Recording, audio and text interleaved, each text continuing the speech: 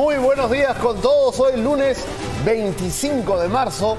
Empezamos también la semana y por eso les decimos a todos fuerza lunes. Muy buenos días, Siri. Muy buenos días, Pedro. Muy buenos días, amigos. Vamos a arrancar una edición más y una semana más aquí en 90 Matinal con nuestros titulares. Les contamos esta mañana que hayan con vida a los cuatro ocupantes de una avioneta que cayó en la selva de Loreto. El piloto contó que el accidente fue por un desperfecto mecánico. Velan los restos del repartidor de pasteles que murió de un disparo a manos de delincuentes que se ensañaron con su víctima porque solo tenía 40 soles para robarle. Y una valiente joven eh, vio a un sujeto que la acosaba y lo denunció al interior del bus del metropolitano. Ella grabó a su agresor quien segundos antes le había hecho tocamientos indebidos. Y continúan muy graves los bomberos que sufrieron quemaduras en el incendio de un almacén en Villa El Salvador. No contaban con equipos especiales durante la emergencia y el comandante general de bomberos indica que no se han comprado nuevos equipos desde hace cinco años. Más de 100.000 taxis colectivos informales invaden principales vías de la capital, causando congestión e incrementando la inseguridad. Pasajeros exponen sus vidas dentro de estos vehículos, que en muchos casos son conducidos por delincuentes. Y un informe de Latina pone al descubierto Red Internacional que otorga títulos falsos. En esta figura el nombre del rector de la Universidad a las peruanas, quien solicitó ante SUNEDU validar su doctorado emitido por una casa de estudios brasileña de dudosa procedencia. 5 y un minuto y comenzamos también la última semana del mes. Así es, vamos a esta hora con el desarrollo de la información. Delincuentes hacen de las suyas en la carretera central en Ate. A diario, peatones son víctimas de arrebato y cogoteo. Estos sujetos que vemos en pantalla actúan en banda. Así es, a pesar de las denuncias y los esfuerzos de los serenos, los zampones continúan tomando por asalto la zona del paradero Ceres. Los robos al paso han sido grabados por las cámaras de vigilancia. Brevísima pausa al volver. Les contamos que vecinos de San Juan del Lurigacho capturaron a dos delincuentes que asaltaron a una menor de 13 años, a la que además intentaron ultrajar. Y además fue detenido un presunto extorsionador de Gamarra. Este sujeto pertenecería a un clan familiar que estaría detrás de las amenazas de muerte al alcalde de la Victoria, George Forsyth. Con esto y más, volvemos. A las 5.05 estamos de vuelta en 90 Matinal. Esto es terrible. Delincuentes ingresaron a una panadería en Chorrillos y tras amenazar a la encargada se llevaron la venta del día. Observe cómo este sujeto ingresa con la aparente intención de comprar los últimos panes del mostrador, pero no es más que un delincuente que sondea el sitio para que su cómplice ingrese, se ponga un pasamontañas y reduzca a la única trabajadora del negocio. El sujeto de gorra con pistola en mano no deja de apuntarle a doña Hortensia, la misma que es obligada a ingresar a la parte trasera del local. Sí, y ya me agarraron y él me apunta y yo ya no pude reaccionar, ¿no? Incluso cada vez que comento algo si me pongo nerviosa porque sí realmente me ha afectado, bueno. Las cámaras captan la desesperación de los zampones por hacerse de todo el dinero que había en la caja. Mientras su víctima permanece en un rincón. Al salir, el sujeto con el rostro cubierto se saca el pasamontañas. Segundos después, y con total tranquilidad, su cómplice sale caminando. Se llevaron en cuestión de minutos casi mil soles.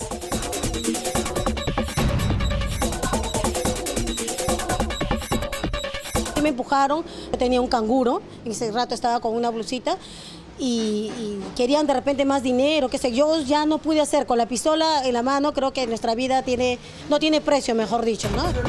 Lleva trabajando cuatro meses en el sitio. Presume que los sujetos ya habían estudiado la salida de los demás trabajadores. Me parece que han esperado que se vaya. Y han Entonces han ingresado porque yo estaba sola. Sucedió en la cuadra 12 de la avenida Guardia Peruana en Chorrillos. Según los vecinos, a partir de las 9 de la noche, la urbanización La Campiña en Chorrillos se convierte en tierra de nadie y se incrementan los robos. Vivimos así a la intemperie, como se dice. ¿Desde qué hora? A partir de las 8 ya, 8, 9, ya uno tiene que estar en su casa porque ya no hay seguridad. Estas imágenes, donde se muestran claramente los rostros de los zampones, ya son analizadas por la policía. La agraviada espera que pronto puedan ser capturados. 5 con 8 minutos y cámaras de seguridad captaron el asalto a un adolescente a plena luz del día. Los vecinos de la zona del sector 9 en Surco aseguran estar cansados de los robos al paso. 9 y 18 de la mañana del último sábado, la calle de Las Brisas en Surco luce completamente desolada. De pronto, un adolescente que pasaba por el lugar es interceptado por una mototaxi. Se abre la puerta y un sujeto de polo blanco amenaza al menor con un arma y le pide que le entregue sus cosas. Aterrado el adolescente sin poner resistencia le da su celular y su mochila. Los delincuentes huyen rápidamente con rumbo desconocido. Según los vecinos, robos como estos se repiten casi a diario. Que acá ululan cantidad de delincuencia, robo a paso a los niños, a mujeres, o sea, no, no hay respeto en verdad. El robo es a través de motos, a través de carros y también en motos lineales con armas y encapuchados también. Los vecinos de la cuadra cuentan que los delincuentes están al acecho de sus víctimas a cualquier hora. Su lugar de operaciones son los alrededores del Colegio Santa Isabel de Villa. Ante esta situación, un grupo de personas ha tenido que organizarse para intentar contrarrestar la delincuencia. Salimos a hacer este rondas de, de 9 hasta 11 de la noche, ¿no? en la Cordillera Negra, en las Palmeras, Flores de Villa. Ya tenemos cámaras, este, no, este, eh, alarmas vecinales que hemos implementado y estamos a punto de implementar de repente tranquera porque ya, ya es insoportable. Los vecinos aseguran que ni la policía ni los serenazgos se dan abasto para patrullar la zona. En las brisas también paran tomando en parque, es una zona roja. En algún momento llamé a Mateo, a la comisaría y me dijeron, señor, esa zona es roja, me dijeron. Como es roja, no vienen los policías. Actualmente no tenemos el apoyo del alcalde de Surco. En tanto, las cámaras de seguridad ayudarán a la policía a identificar las características de la moto y dar con la ubicación y captura de los delincuentes que se han convertido en el terror de los vecinos. 5 y 10 y un incendio en Caraballo ha dejado a una familia en la calle. Este siniestro, que afectó por completo la vivienda, se habría generado por un cortocircuito. Fueron más de 45 años de esfuerzo y trabajo que en unas horas se hicieron cenizas. Tres pisos de una casa que ardían por completo. Vecinos trataban de ayudar a los bomberos y controlar el siniestro. El material altamente inflamable de la casa hizo que el fuego se extendiera rápidamente. En esta vivienda de la cuadra 2 del Girón Hipólito Unano en Caraballo vivían siete personas, toda una familia que dormía cuando se inició el incendio. Parece que ha habido cortocircuito acá en el primer piso. Sí, este compresor ahí estaba, este, conectado, eso no le desconectaba, parece que ha sido ahí. En la casa, el patriarca de la familia, Condori Mamani, tenía un pequeño taller de carpintería, por lo que había abundante madera. El día anterior estuvo haciendo unos trabajos de pintura y cree que este equipo habría generado un cortocircuito que terminó provocando el incendio. La familia solo pudo sacar algunas de sus pertenencias. Mi casa ya no hay nada prácticamente en estos momentos, ya todo está quemado, ustedes pueden apreciar, miren, está, ya no hay nada, ya todo esto se ha destruido en mi casa, todo nuestro esfuerzo de años, ya no hay nada. Fueron siete las unidades de bomberos que llegaron para controlar el siniestro. Los agentes tardaron varias horas. El problema de falta de agua les jugó en contra. La familia tenía además de sus artículos dinero en efectivo, dos mil soles que también fueron reducidos a cenizas. Ellos ahora esperan que alguien pueda ayudarlos económicamente debido a que su pérdida es grande. Sigo con 12 minutos y fueron sepultados los restos de la joven cuyo cuerpo fue hallado en una cueva en el Agustino. Los familiares pidieron ayuda psicológica para el hijo de la víctima que solo tiene 7 años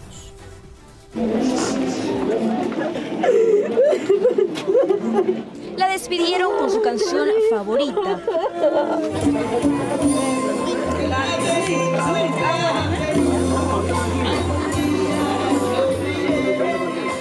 puede quedar impune. Queremos justicia, sus amigas, ¿dónde están sus amigas? Queremos justicia para ella. En medio de llantos y pedidos de justicia, familiares y amigos le dieron el último adiós a Sharon León Jara, quien fue asesinada, descuartizada y quemada en el Agustino. El féretro de la joven de 23 años llegó hasta el cementerio Alto Perú en Ñaña, Hace unos días el cuerpo de la joven fue hallado en una cueva luego de ser reportada como desaparecida desde hace más de una semana. principal sospechoso, ¿no? Nick Brian León Chumpitaz, pareja de Sharon, fue detenido por la policía. Según los agentes, tras someterse a los interrogatorios, el sujeto confesó el crimen. En medio del dolor, la hermana y amigas de esta joven hicieron un llamado a las autoridades para que el responsable reciba la máxima pena que pague por todo lo que le hizo a mi hermana. Y si solamente le van a dar 20 años, mejor que lo dejen suelto para hacer justicia con nuestras propias manos. Yo al Ministerio de la Mujer que nos den un abogado para que no salga ese maldito, desgraciado. Ya tiene antecedentes. Yo le pido a la fiscal. Usted es mujer como nosotras. Yo solamente le pido, pida la cadena perpetua para él. Sharon deja en la orfandad a un niño de 7 años que tuvo en una relación anterior. Familiares pidieron al Ministerio de la Mujer apoyo psicológico para el menor. La muerte de Sharon se suma así a la lista de feminicidios, 37 registrados en lo que va del 2019.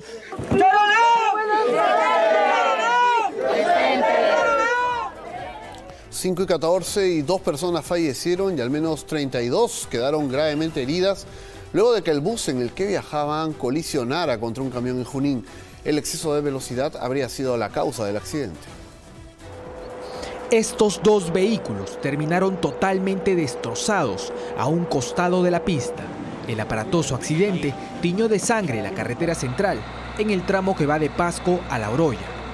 Según testigos, el bus de la empresa de transportes Bahía, que se dirigía de Tingomaría a Lima, chocó violentamente por la parte posterior a este camión que transportaba ganado vacuno. Presuntamente, el chofer del bus interprovincial manejaba a excesiva velocidad. El chofer ya está de sueño, ha venido, ha venido los rompemuelles pasando la alta velocidad. Debido al fuerte impacto, dos personas fallecieron y al menos 32 pasajeros quedaron gravemente heridos, con contusiones y traumatismos y pensé que estábamos en un abismo porque, yo sentía el carro como si bajaba. Lo único que quería es salir, correr, no sé, desesperado, no sabía qué hacer. Varios animales muertos quedaron regados en medio de la pista. Hasta el lugar llegaron efectivos de la policía de Junín, quienes junto al fiscal de turno realizaron las diligencias correspondientes y el levantamiento de los cuerpos. Los heridos fueron trasladados al hospital de apoyo del lugar. En tanto, vecinos de la zona indicaron que los conductores deberían tener más precaución para manejar, ya que el exceso de velocidad es una de las principales causas de accidentes en esta vía. 5 y 16 minutos y cambiamos de tema. Una valiente joven enfrentó a su acosador en la estación del Metropolitano de Tomás Valle en Independencia. Ella lo acusó de tocamientos indebidos. Grabó a su acosador para tener una prueba. Este joven, según denunció la víctima, estuvo acosándola y tocándola indebidamente. El nombre de este presunto acosador es Fermín Hurtado Fuster, quien fue detenido por su propia víctima en el Metropolitano, donde habrían ocurrido los hechos.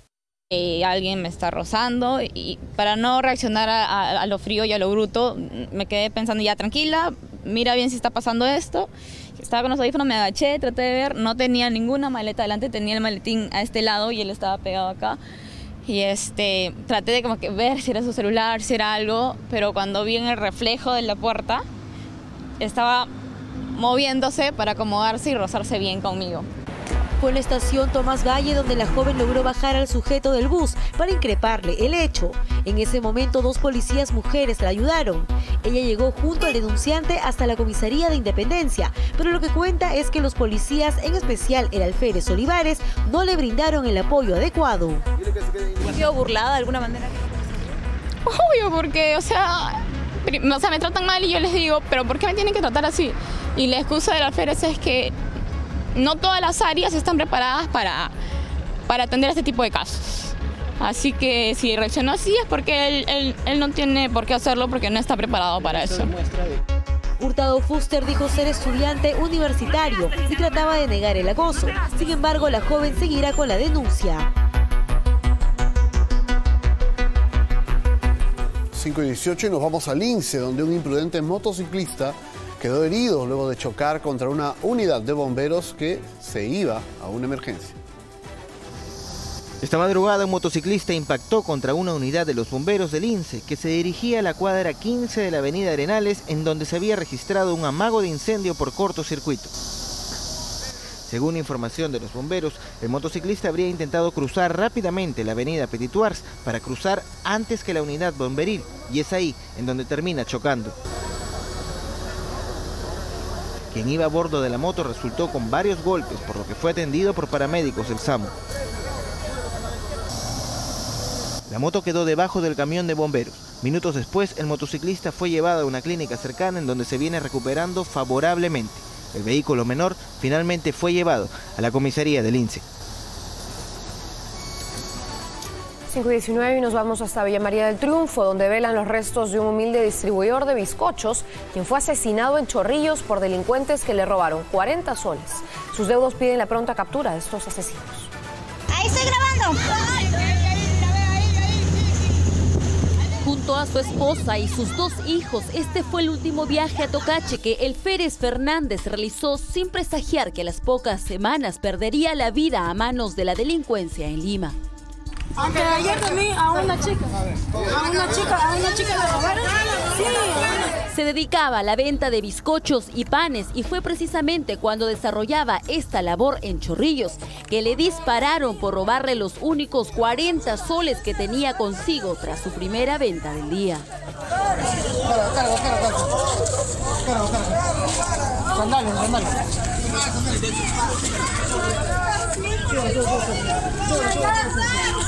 El disparo comprometió órganos vitales.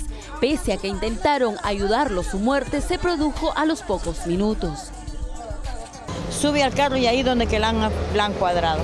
Y como, bueno, dice el tío que, que porque no tenía dinero lo lo han, sea, lo han disparado. Aquí en el sector 3 de Delicias de Villa en Chorrillos, cuando la víctima terminaba de entregar sus primeros productos de panadería del día, precisamente a esta bodega, es en el instante que él avanza hasta este lugar para subir a su vehículo. Es que es interceptado por uno de los delincuentes armados. Sí, pero ya no hay.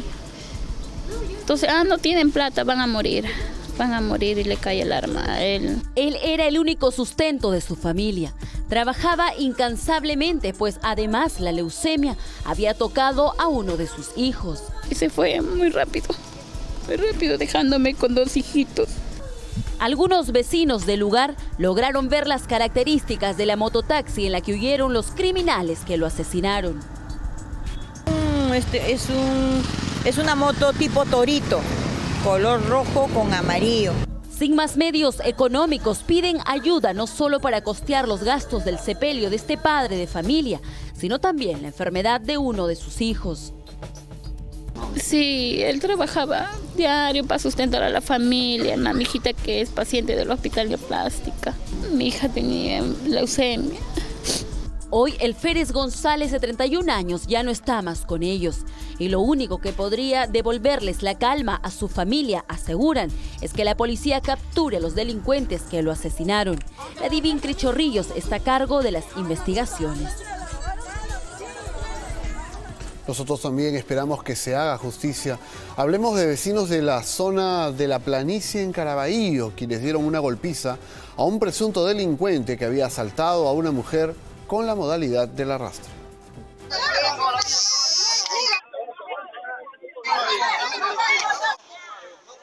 Cansados de tanta inseguridad, quisieron hacer justicia con sus propias manos. Richard Cabello Sánchez por poco no la cuenta. Los vecinos de este sector de la planicie en Caraballo lo golpearon, le dieron de latigazos y amarraron a un poste. La razón, haber atacado a una mujer, a quien arrastró por varias cuadras con su mototaxi para robarle el celular. El mototaxista, el delincuente, venía arrastrando al, a la agraviada. La chica se ha colgado en la moto y ha pedido auxilio. Ha sido arrastrada a un promedio de 100 metros. La, la población ha salido en conjunto, ha tomado pues eh, riendas. Al escuchar los gritos de auxilio, la población salió en defensa de la joven y lograron detener al hombre que intentó escapar y que además sería conocido por sus constantes robos en el lugar. La policía ha detectado que tiene cinco denuncias de robo de la misma magnitud. Y a mi hija lo ha arrastrado con su misma moto, le ha arrastrado a mi hija. La policía se hizo presente, desató al hombre y lo trasladó a la comisaría del Progreso. La víctima, aún con las marcas del ataque, también llegó para sentar la denuncia. Los agentes piden a la población que quienes han sido víctimas del accionar de este sujeto, acercarse a la dependencia policial. No obstante, los vecinos advirtieron que seguirán con esta clase de elecciones contra la delincuencia. 5 con 23 minutos y cambiamos de tema. Una adolescente de 13 años fue víctima de delincuentes en San Juan del Urigancho. La madre denunció que no contentos con robarse la cartera de la menor, intentaron llevársela para abusar sexualmente de ella.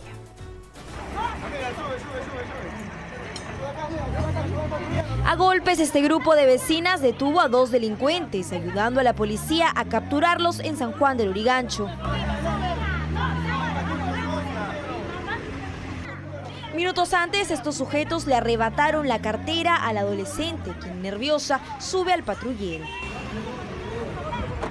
Salía de la iglesia de los mormones, eh, rumbo este, para República de Polonia. Ahí es donde es interceptada por estos este, delincuentes. Son tres, uno este, estaba en una mototaxi roja.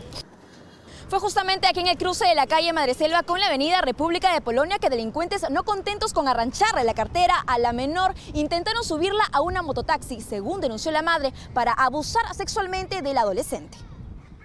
Por ahí están asaltando a los jóvenes que salen del colegio José María Arguedas y se los llevan, algunos este, abusan de ellos y no, no ponen la denuncia, pues, ¿no? En este caso mi hija comenzó a gritar, comenzó a gritar y ya no se la, no se la han llevado. Mira pues, pues no, pues no mira. ¿ah? La madre de la menor cuenta que delincuentes amenazaron al adolescente con un destornillador. Gracias a la intervención de los vecinos se evitó una tragedia. Asegura que su hija no es la única víctima de estos delincuentes, identificados como Antonio Ilich Granado Alca, de 20 años, y un menor de edad. ¿Por qué has intentado abusar sexualmente de la menor? ¿Has abusado? Como hoy es domingo, han salido todos, han salido y lo han, los han, han comenzado a corretear. Las señoras incluso han salido con cucharones a golpearlos. a y entonces eh, ahí es donde ha aprovechado el de la mototaxi y se ha dado a la fuga. Es más, los vecinos tenían en mente lincharlos. ¿Por qué has intentado robarle a la menor? Tienes varias denuncias por robo, tú. La madre del adolescente de 13 años hizo un llamado a la fiscalía para que no liberen a los sujetos, pues de lo contrario asegura que tomarán justicia con sus propias manos.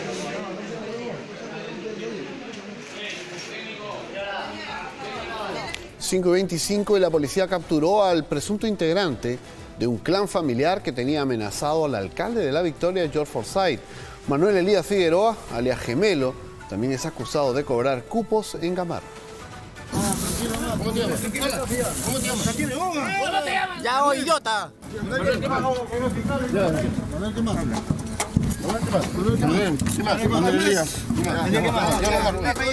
está tu hermano? ¿Tu hermano está, José? Este sujeto que trata de zafarse de manos de la policía es Manuel Ernesto Elías Figueroa, uno de los integrantes de un supuesto clan familiar que había estado amenazando al alcalde de la Victoria, George Forsyth, por varias semanas, pues se dedicarían al cobro de cupos a los ambulantes de Gamarra.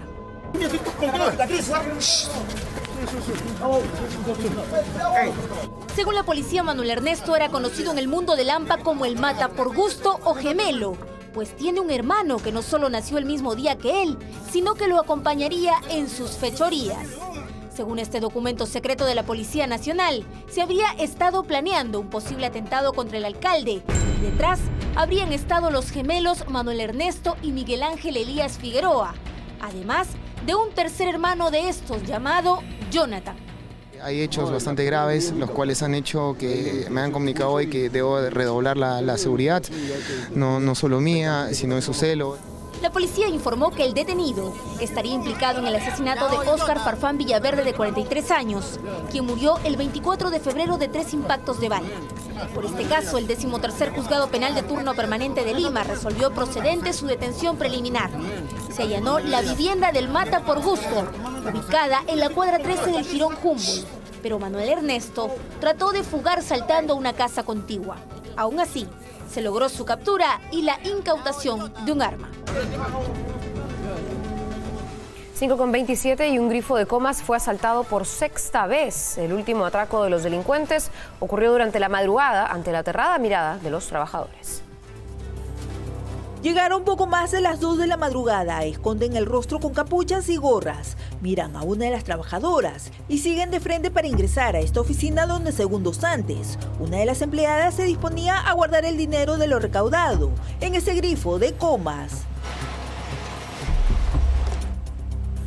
Caminan sin prisa, saben que no hay quien los enfrente. Son las 2 y 25 de la madrugada del domingo. Un minuto después se alejan corriendo. El sujeto de ropa oscura es quien lleva la bolsa con los 5 mil soles de las ventas ante la mirada de las empleadas que solo observan el robo. Aprovechan que nosotros somos mujeres y siempre vienen a, robarnos. Uno también se tiene familia en casa que nos están esperando y eso también es este para nosotros un riesgo, ¿no? A veces atenernos a lo que, lo que nos dicen ellos, ¿no? Lo más indignante es que esta no es la primera vez que asaltan el grifo, ubicado entre las avenidas Universitaria y Sinchirroca. Es la sexta. Y poco pueden hacer las empleadas para evitar el atraco. Los delincuentes se burlan y no tienen temor en que den la alerta a las autoridades. Eh, o sea, vienen y, se, como no ven nada y se van. Algunos lo toman a broma también, o sea, como dicen, uno se les llama, se les dice que está por un costado, están yéndose por un lado, no, y, y, se van por otro lado. O sea, la comisaría también que tenemos cerca, o sea, tampoco se les llama y no nos brinda ese apoyo. Según refieren, estos sujetos habrían llegado a bordo de una mototaxi que transitaba lentamente a esa hora, tal como lo muestran las cámaras de seguridad. La denuncia se encuentra en la comisaría del sector y piden a las autoridades que den con los autores de este robo. 529 y dos bomberos heridos ha sido el saldo del combate a un incendio producido en un almacén de reciclaje en Villa El Salvador. La Comandancia General de los Voluntarios se ha quejado de los equipos obsoletos con los que deben trabajar. la ambulancia! Compañeros los atienden mientras esperan una ambulancia que los traslade a un centro de salud. A uno de ellos lo mojan con una manguera en tanto el otro bombero herido es atendido en el suelo. Se trata del teniente Carlos Manuel del Águila Flores y René Alcides Saldívar Vicetti, quienes acudieron junto a sus compañeros a sofocar un incendio que se desató en un local donde se almacenaba material de reciclaje. El almacén está ubicado en la zona denominada Colonización Las Vertientes en Villa, El Salvador. 16 unidades del cuerpo de bomberos entre autobombas, unidades de rescate y ambulancias se dirigieron al lugar. Es en esas circunstancias que una explosión afectó gravemente a los dos bomberos que habían ingresado a apagar el fuego. Lamentablemente hubo una deflagración en este incendio, una explosión, estos dos bomberos fueron tirados, lamentablemente ya lo dijo el comandante general, los equipos de protección que tenemos no son los más adecuados en este momento, estamos desprotegiendo a nuestro personal. Ambos heridos fueron llevados primero a un hospital de Villa El Salvador y después derivados al Hospital Guillermo Almenara de Salud. El estado de salud del teniente Carlos del Águila es el más delicado. Este del Águila ha pasado a lo que es este UCI, unidad de cuidados intensivos, ¿no? Donde no, se le ha inducido a, a una analgesia, una pseudoanalgesia para poderle intubar en prevención de lo que son las quemaduras de vías aéreas. ¿no? En tanto, René Saldívar está en la unidad de quemados, tiene quemaduras de segundo grado en brazos y espalda. Y si el gobierno no nos apoya con lo mínimo indispensable que son los equipos de protección personal y los autocontenidos, poco o nada podemos hacer. Estamos arriesgando la vida de nuestros bomberos. El comandante general afirmó que son 17.000 los bomberos en todo el país que no cuentan con el equipo mínimo indispensable para desarrollar de manera segura su labor. Todos estos equipos que usan mis bomberos, los bomberos voluntarios, ya cumplieron su ciclo de vida. Y hay compañías donde estos equipos de protección personal los están usando tres bomberos, cosa que es antihigiénica. Según el comandante general del cuerpo de bomberos, hace cinco años no se compran equipos de protección personal, ni máscaras, ni balones de oxígeno. 5 con 32 y dos avesados delincuentes arrastraron a un hombre para arrancarle su cadena de oro. Las cámaras de vigilancia del domicilio captaron los momentos precisos del ataque. La víctima quedó con graves heridas en el cuerpo. Vea cómo este delincuente se abalanza contra su víctima como una hiena contra su presa. El ampón forcejea, fuerza y tira del hombre que pone resistencia al robo de una cadena de oro que lleva en el cuello. Lo arrastra mientras su cómplice tiene la moto encendida para emprender la huida, pero lo abandona. El delincuente había perdido el factor sorpresa. Por ello, fue rodeado por otros motociclistas y peatones a los que pudo sortear. Desde este ángulo se observa cómo la víctima, un próspero empresario naviero, llega a su vivienda en motocicleta y de inmediato un sujeto a bordo de otra moto baja y se lanza sobre él. La motocicleta cae, la pelea se lleva al piso donde el ladrón lleva la ventaja. El objetivo es arrebatarle a toda costa el valioso accesorio. El hecho se produjo en la ciudad de Iquitos y frente a la vista de varios testigos. La víctima terminó con heridas en las piernas y en la espalda. La policía tiene en sus manos estas imágenes para las investigaciones del caso. El empresario agraviado teme por su vida, pues presume que estos sujetos ya lo habrían estado siguiendo por varios días. Por eso espera que pronto puedan ser capturados. Impactantes imágenes, pero a las 5.34 vamos con una buena noticia porque rescataron con vida a los cuatro tripulantes de una avioneta que había desaparecido cuando se dirigía a la localidad de San Roque, en Loreto. Una falla mecánica en el motor habría provocado que la aeronave se desplome, cayendo en medio de la selva. Señores, en este momento llegando al lugar de los hechos, ya rescatando al personal de Alas del Oriente. Fueron las horas más largas de su vida y aunque estuvieron atrapados en medio de la selva, su esperanza nunca se agotó. Volvieron a nacer. Estos son los precisos instantes del hallazgo de los cuatro tripulantes de la avioneta que desapareció cuando se dirigía a la localidad de San Roque, en el distrito de Magia, Loreto. Jeffrey Pinedo Pérez, piloto de la aeronave, junto a tres trabajadores de la empresa de vigilancia Prosegur, trasladaban una fuerte suma de dinero para abonar a los usuarios de los programas Juntos y Pensión 65. Una falla mecánica en el motor habría provocado que la avioneta se desplome, lo que puso en alerta a sus familiares. Efectivos de la Fuerza Aérea del Perú, especializados en búsqueda y rescate, sobrevolaron la zona en la que se tuvieron las últimas comunicaciones con la aeronave. Mediante este comunicado, el Ministerio de Defensa anunció que los cuatro hombres habían sido encontrados y rescatados con vida. Pinedo Pérez logró salvar la vida de Helber Ríos Rodríguez, David Cabral y Carlos Arimuya, luego de realizar un aterrizaje forzoso. Según relata, las copas de los árboles amortiguaron el fuerte impacto y ellos cayeron en una zona pantanosa, cerca de la quebrada Yanayacu, en el distrito de Nauta. Es un milagro y gracias a Dios estamos todos bien, ¿no? Todo bien. Sí, todo bien. No, no, y yo sí con golpes algunos, pero todo bien, no hay, no hay de gravedad, no hay ninguno. Envuelta en un mar de lágrimas, esposa de Jeffrey lo abrazó fuertemente. Ella pensaba que nunca más lo volvería a ver.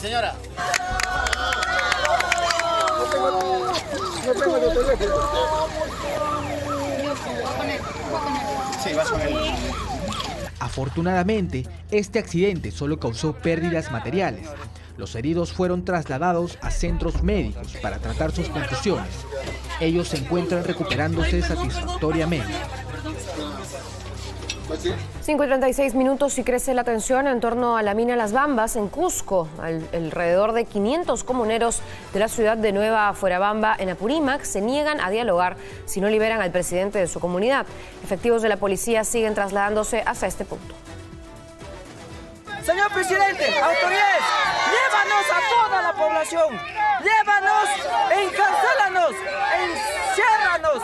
Ahí está, ustedes pueden ver cómo nos tienen rodeados por la policía. La policía nos rodea. La policía ahí está, nos está rodeando, militarizando, declarando el estado de emergencia.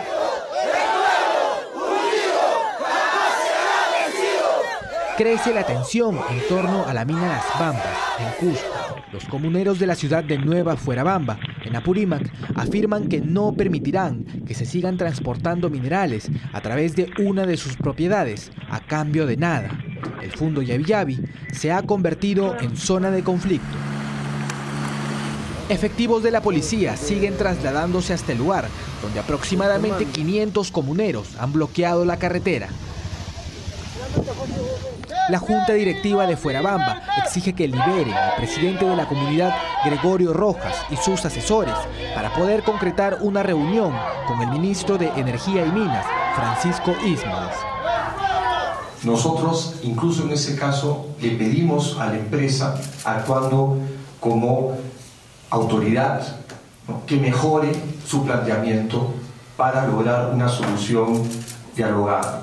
El representante de la cartera reveló que Las Bambas aumentó su oferta de pago a los comuneros de Nueva Fuerabamba de 1.9 millones a 6 millones de soles, a fin de lograr un consenso y el desbloqueo del corredor minero del sur. Las autoridades viajarán a la región Apurímac para solucionar lo que es, según la Defensoría, uno de los conflictos más preocupantes de nuestro país. Y estaremos atentos a lo que ocurre en las Bambas. Pero ahora nos vamos a otro punto, esta vez del planeta, porque 656 fallecidos ha dejado hasta el momento el paso del ciclón Idai en África. Este fenómeno ha dejado además 750.000 damnificados en Mozambique y Zimbabue.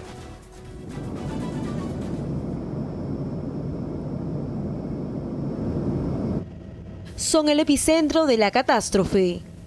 Mozambique y Zimbabue son dos de los países africanos que quedaron completamente destruidos tras el paso del ciclón Idai.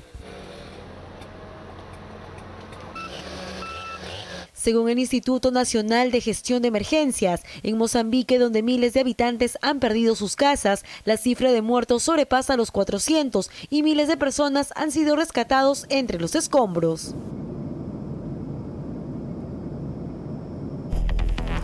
Mientras que Zimbabue cerca de 200 han perdido la vida, aunque el número total de fallecidos aumentará conforme los equipos de rescate ingresen a las áreas incomunicadas hasta el momento por el devastador fenómeno.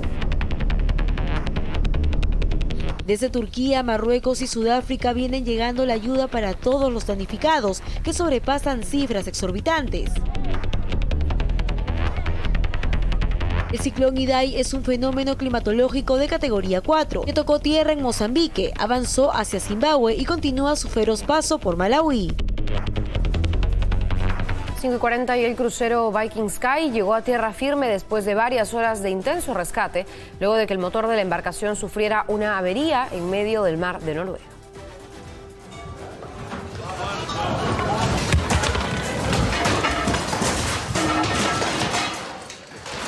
Estas imágenes muestran la pesadilla que vivieron los pasajeros en el interior del crucero Viking Sky.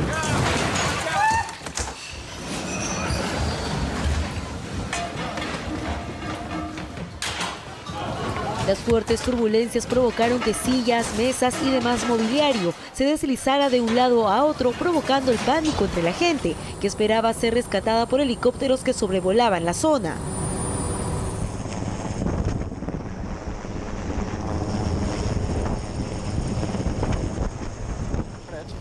Que debieron ser unas vacaciones de ensueño terminó siendo la peor experiencia de unas 1.300 personas que viajaban a bordo.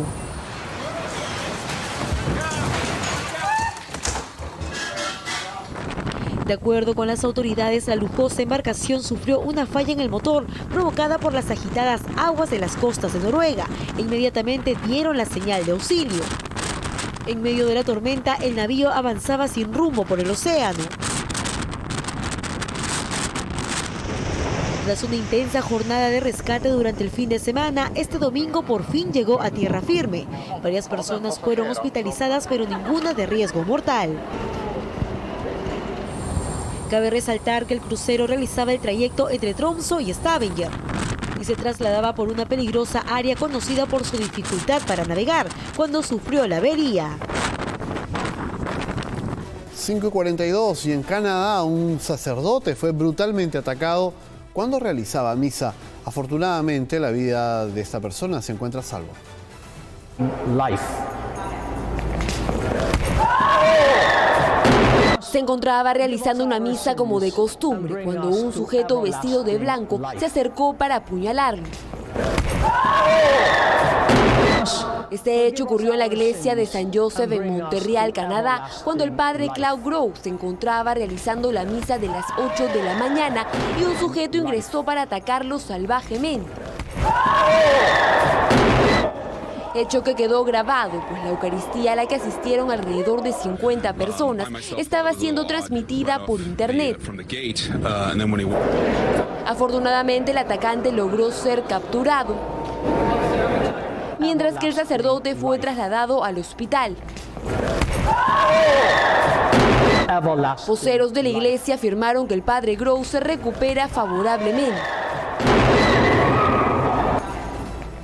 5 y 43 minutos y la ex primera dama de México, Angélica Rivera, puso fuertes condiciones para firmar el divorcio al expresidente Enrique Peña Nieto. Sus pedidos incluyen 35 autos y 12 años de vuelos privados.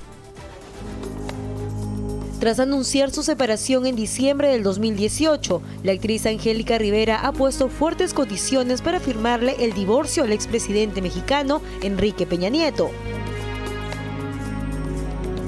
De acuerdo con el diario Universal, los papeles de separación estarían listos hace varios meses. Sin embargo, la recordada gaviota aún no pone su rúbrica, pues exige que su expareja le asegure algunos lujos que ha solicitado.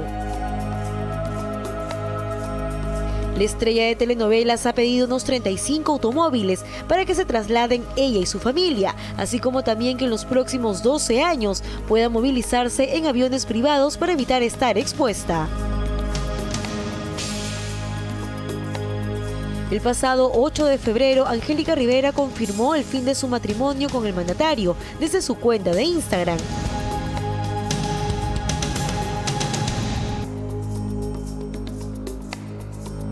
Como se recuerda, el ex jefe de Estado y la actriz se casaron en el 2010 y lo celebraron a lo grande con diversas personalidades del acontecer político y del espectáculo.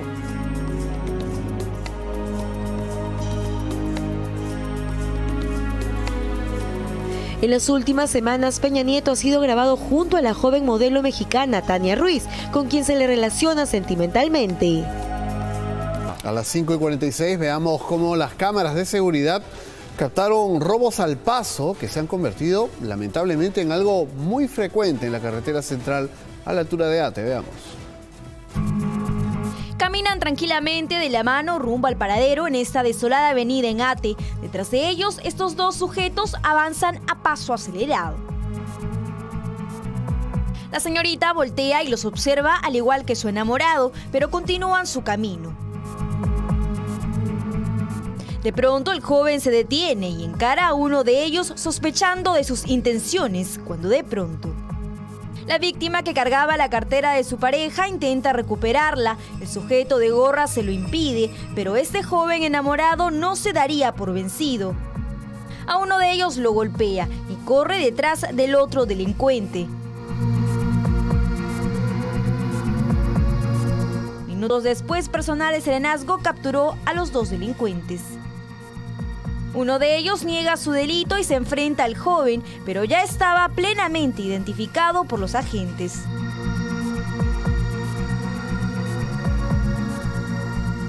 Sin embargo, estos enamorados no fueron las únicas víctimas de robos al paso en el distrito. Observe, un hombre en aparente estado de ebriedad está tendido en el suelo. De pronto, el sujeto que sostiene una botella de cerveza en la mano lo golpea. El joven de gorra blanca calma al agresor e intenta ayudar al agraviado a levantarse.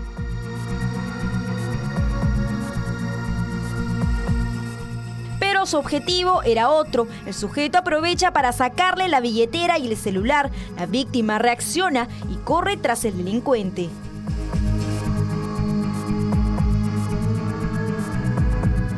Afortunadamente, serenos logran capturar a este delincuente que era el terror de los vecinos de Ate. 5 y 48 y vamos a cambiar de tema. Punto final ha puesto al descubierto una red internacional que otorga títulos falsos. El rector de la Universidad Alas Peruanas solicitó ante la SUNEDU la validación de su doctorado emitido por una casa de estudios brasilera de dudosa procedencia. El bufet jurídico Panzo y Tunga, abogados y asociados, fue el hilo de una madeja que nos llevó a desenredar un novillo de sospechas referidas a los títulos que venía otorgando la supuesta universidad brasileña Faculdad de Atenas. La Facultad de Atenas es el nombre que inicialmente tuvo una universidad reconocida en Brasil que actualmente se llama UniAtenas. Dicho estudio, representado por el doctor Daniel Panzo, registraba en su página web como casos de éxito a alumnos a los que se les había reconocido sus títulos universitarios en el Perú. Era hora entonces de buscar a estos abogados. Entonces ellos no están, han salido. Ni Panzo ni Tunga estaban. Hay una página web que se ha detectado en la que estarían apareciendo eh, información que aparentemente no sería auténtica. Enrique Bedoya Sánchez, rector nada menos que de la Universidad Alas Peruanas, estaba solicitando que se valide su título de doctor de la cuestionada Universidad Brasileña, Facultad de Atenas. Fuimos al domicilio del rector de la Universidad Alas Peruanas. Mientras lo esperábamos en el auto, un personaje que se hacía llamar Fernando Humberto Paiva nos escribió. Preguntó que qué deseábamos. Fotografía del personaje que me escribía se me hizo conocida. Este parece Humberto Eco. Efectivamente, la foto del personaje identificado como Fernando Humberto Paiva era la del escritor y filósofo italiano Humberto Eco. Paiva decía estar en Sudáfrica y ser asesor del abogado Panzo. Por rato recibimos una extraña llamada. ¿Hay alguna orden judicial, algo parecido? Como está en su página web, por eso queríamos hacerle la consulta del caso. Usted no está en Perú. No, yo vivo en Argentina. El doctor Paiva está en, el doctor Paiva vive en Brasil. El doctor Panzo, no, no sé quién es el doctor Panzo ni el doctor Tunga. Yo conozco al, al doctor Humberto Paiva. Después y tras varias horas de espera, el rector de la Universidad Alas Peruanas, Enrique Bedoya, nos concedió la entrevista.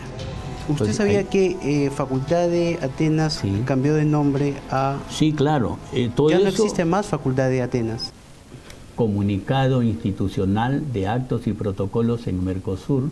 La doctora que firma es María Eugenia Concel- Conselmo, que es la consultora senior del Sistema de Acreditación Regional de Programas Superiores de los estados del Mercosur Con tantos pergaminos no sería fácil encontrar a la doctora María Eugenia Cunselmo en internet. En sus fotos no aparece en ninguna actividad académica, pero sí aparece nada menos que con el doctor Panzo, Daniel Panzo.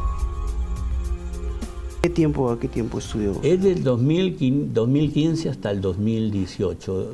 Eh, ¿En dónde estudió? ¿En qué ciudad? No, esta es una universidad abierta. ¿Es virtual? No, tampoco. ¿Cómo estudió Le voy a explicar. doctorado? Pero hay infinidad de modalidades para estudiar hoy día. Una de las modalidades es la universidad abierta, que está conectada a todo el mundo. ¿Y usted ha llegado a hablar? ¿Ha, ha escuchado hablar? ¿Tú No, estudió? ¿Panzo qué? Panzo Turba Abogados. No, señor. No, ¿No conoce? No, no, no. Al que sí dijo conocer fue al representante de la Facultad de Atenas en el Perú. Ahora hay delegado en Angola también. Sí, acá en el Perú también. En Perú es el doctor Garcés, Garcés. Agurdo Miguel Fernández. Exactamente. Doctor, esa página web es falsa. Se metió a otra página web, por eso te digo. Lo cierto es que ayer, la persona que decía llamarse Humberto Paiva y que tiene, en vez de su foto, la del escritor italiano Humberto Eco, me escribió, no sé qué tipo de persona eres, mas si deseas problemas, irás a tener. Puede decir, nos vemos en punto final este domingo en portugués. No sabe portugués, doctor. no sabe portugués. Diga algo elaborado en portugués. Boa, boa noite. Muito obrigado. No, no, vamos a tomar una caipirinha. Cuídate. 552, pero a raíz de este informe de punto final, la Superintendencia Nacional de Educación Superior Universitaria anunció que han iniciado el procedimiento para anular el reconocimiento de 32 títulos emitidos por facultades ajenas.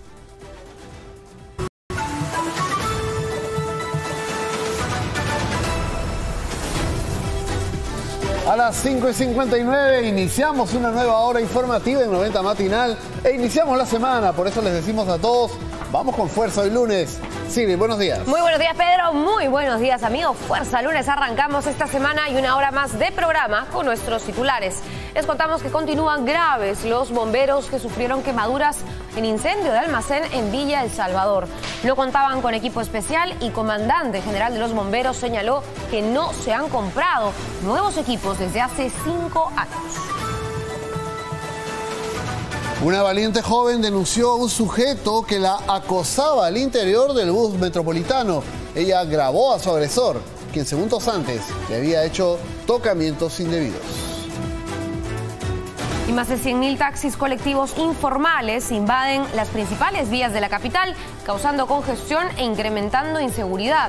Pasajeros exponen sus vidas dentro de estos vehículos, que en muchos casos son conducidos por delincuentes.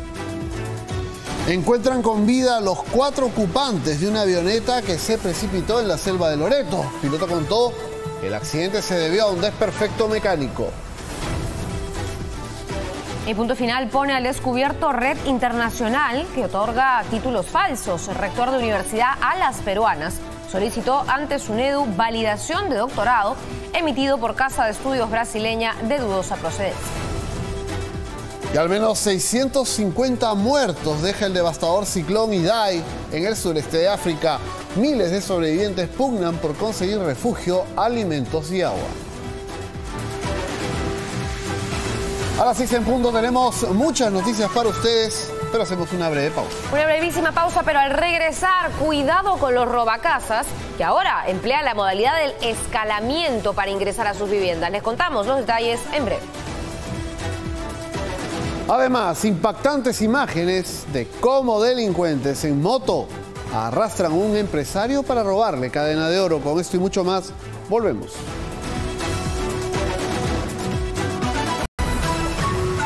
A las 6 y 4 estamos de vuelta en 90 matinal. Y esto es preocupante. Delincuentes ingresaron a una panadería en Chorrillos. Así es, y tras amenazar a la encargada, terminaron llevándose todas las ventas del día. Observe cómo este sujeto ingresa con la aparente intención de comprar los últimos panes del mostrador, pero no es más que un delincuente que sondea el sitio para que su cómplice ingrese, se ponga un pasamontañas y reduzca a la única trabajadora del negocio. El sujeto de gorra con pistola en mano no deja de apuntarle a doña Hortensia, la misma que es obligada a ingresar a la parte trasera del local. Y ya me agarraron y él me apunta y yo ya no pude reaccionar, ¿no? Incluso cada vez que comento algo si me pongo nerviosa porque sí realmente me ha afectado, bueno. Las cámaras captan la desesperación de los zampones por hacerse de todo el dinero que había en la caja. Mientras su víctima permanece en un rincón. Al salir, el sujeto con el rostro cubierto se saca el pasamontañas. Segundos después, y con total tranquilidad, su cómplice sale caminando. Se llevaron en cuestión de minutos casi mil soles.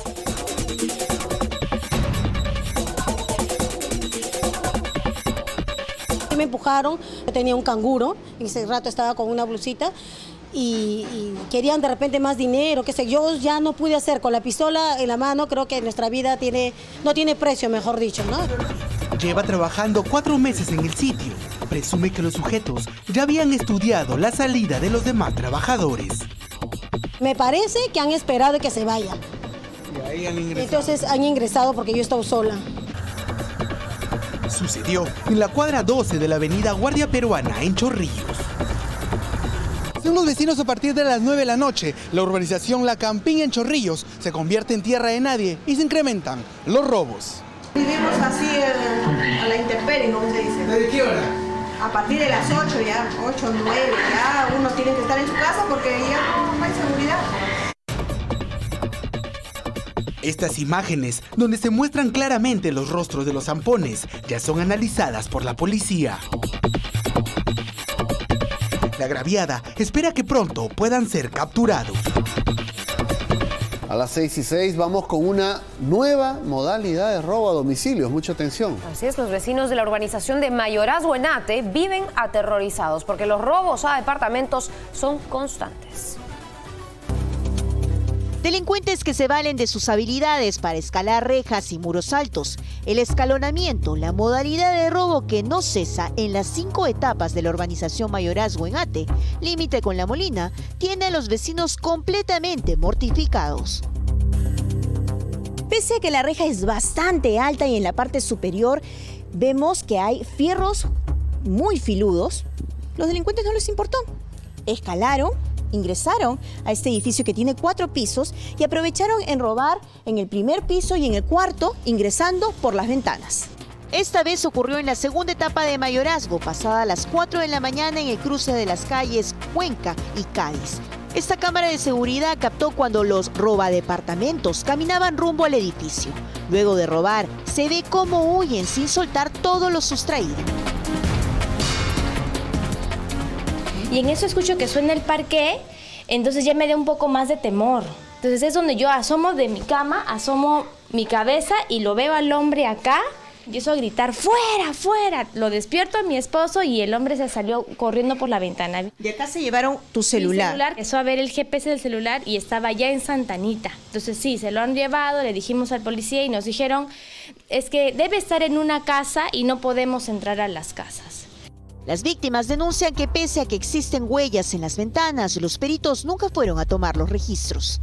En este departamento del cuarto piso aprovecharon que la ventana estaba abierta, primero tuvieron que levantar esta malla de seguridad y ya una vez adentro robaron celulares, robaron joyas, también lentes de marca y aprovecharon en llevarse una computadora, una laptop. Estamos completamente indignados. Esta es la segunda vez que roban este edificio. Eh, nosotros hemos estado durmiendo en el cuarto principal, mi esposa, mi nena, y este, los rateros este, han entrado a, nuestro dormitorio. O sea, ¿ustedes no, no sintieron nada? ¿Asumen que de repente les han echado un líquido, algún spray? Sí, yo creo que sí, porque nosotros no hemos sentido este, nada. Este video es de agosto del año pasado. El delincuente evitó el trabajo y fue práctico. Así de fresco, se valió de una escalera para llegar hasta la ventana del departamento del segundo piso. Logró ingresar. Caminó despacio y de puntitas. Abrió la puerta a sus compinches y procedieron al robo. Los vecinos de la urbanización Mayorazgo, segunda etapa de ATE, se quejan de la inacción de la comisaría de Salamanca. Afirman que a la semana sufren por lo menos un robo en viviendas y tres de vehículos, y se trataría de delincuentes de la misma urbanización dedicados al consumo de droga.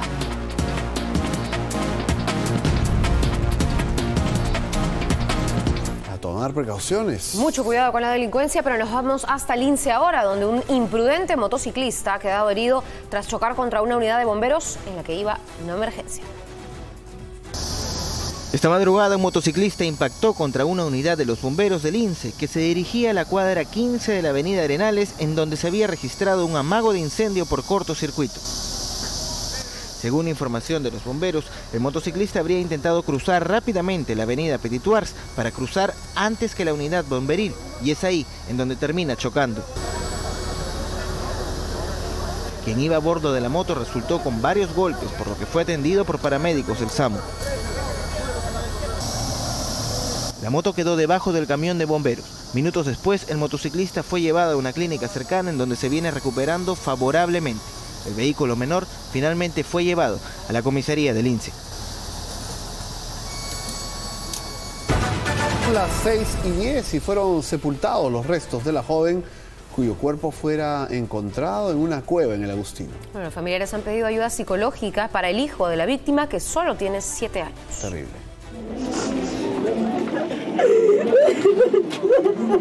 La despidieron con su canción favorita.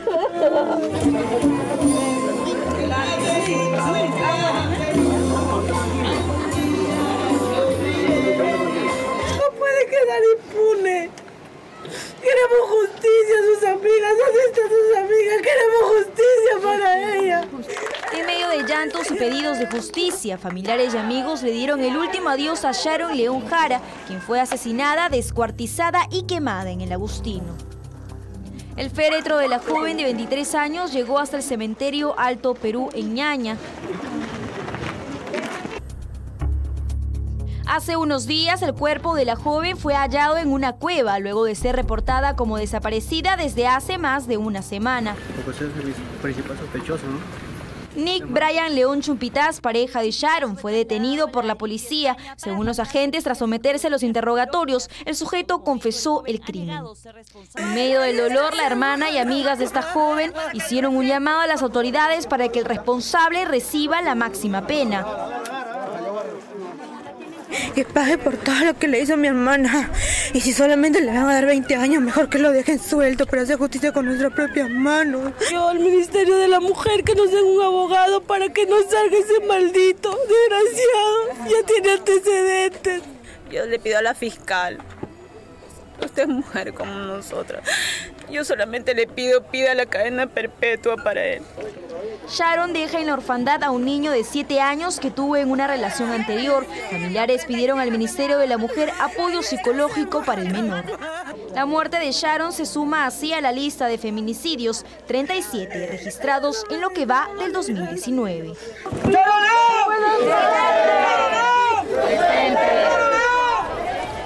6 y 13 y vamos ahora con un caso, Sirit, que llama la atención sobre las condiciones en las que trabajan nuestros bomberos. Realmente terribles. Dos bomberos heridos dejó el combate a un incendio producido en un almacén de reciclaje en Villa El Salvador.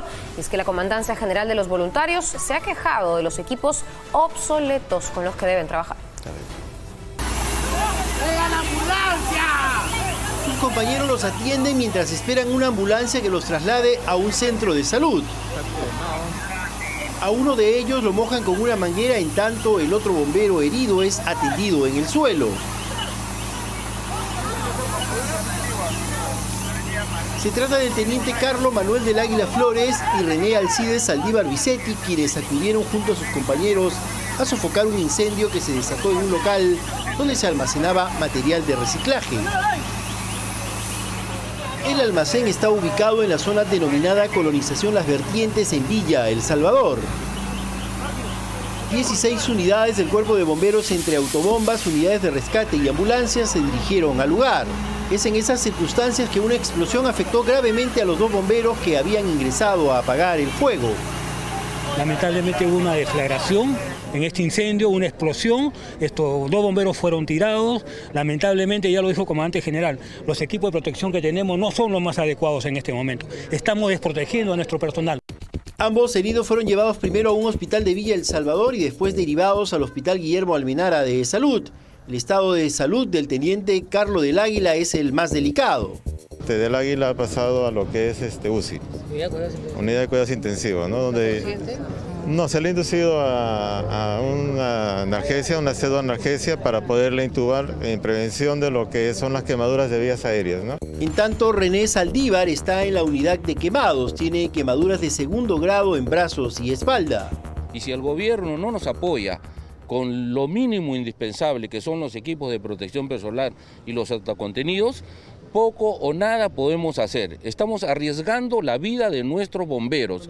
El comandante general afirmó que son 17.000 los bomberos en todo el país que no cuentan con el equipo mínimo indispensable para desarrollar de manera segura su labor. Todos estos equipos que usan mis bomberos, los bomberos voluntarios, ya cumplieron su ciclo de vida. Y hay compañías donde estos equipos de protección personal los están usando tres bomberos, cosa que es antihigiénica. Según el comandante general del Cuerpo de Bomberos, hace cinco años no se compran equipos de protección personal, ni máscaras, ni balones de oxígeno. Y dos escolares fueron asaltados por delincuentes en el Callao. Un testigo intentó orientar a los maleantes. Veamos. Observe cómo estos dos escolares caminan tranquilamente por esta calle de la urbanización Jorge Chávez en el Callao, hasta que dos sujetos se les acercan con una sola intención, robar el celular que uno de ellos llevaba en su mochila. Se acercaban diciendo manito, manito, así como que con confianza, ¿no? Por eso su amigo pensó que, ah, bueno, lo conoce, ¿no? Se acercaron y ya, este, al pensar que su amiguito, al pensar que era alguien de confianza, no, no hizo nada bueno. Tampoco, ¿qué, qué iba a hacer, pues, no? Los niños de solo 12 años se quedan pasmados, pero un vecino que se percató del asalto toma una piedra y persigue a los ladrones. Unas cuadras más adelante los alcanza. y se va corriendo atrás de ellos y logra quitarle un celular, pero el celular es del, del ladrón. Y al ser el celular del ladrón vemos que vemos sus datos, bueno, de la persona. Y al ver los datos de la persona hemos ido a la comisaría a denunciar a estas personas y ya pues los tienen identificados. Este sería el rostro de uno de los sujetos que cobardemente asaltó a los menores. En el equipo, los agraviados pudieron acceder a sus cuentas de redes sociales, percatándose que el sujeto vive en un barrio cercano. ¿Él figura con el nombre de? Austin Rivera. Pero le dicen como que Víctor, veo que le escriben Víctor, Víctor. Lo que ahora preocupa a la familia del niño asaltado son los constantes mensajes con amenazas que llegan al teléfono. Y no solo por mi hermano, sino que cuántas personas más, porque acá hay dos colegios cerca. En el celular que, del ladrón que recupera un vecino, vemos que llegan como que amenazas. Eh, te voy a buscar, ando armado, eh, te voy a matar. Amenazas de muerte, ¿no? Como, como cualquier delincuente. La familia ya puso la denuncia en la comisaría del sector. 6 con 17 nos vamos a Villa María del Triunfo, en donde velan los restos de un humilde distribuidor de bizcochos, quien fue asesinado en Chorrillos por delincuentes que le robaron 40 soles. Sus deudos piden la pronta captura de los asesinos. Ahí estoy grabando. Junto a su esposa y sus dos hijos, este fue el último viaje a Tocache que el Férez Fernández realizó sin presagiar que a las pocas semanas perdería la vida a manos de la delincuencia en Lima. Aunque ayer también a una chica, a una chica, a una chica le robaron. Sí.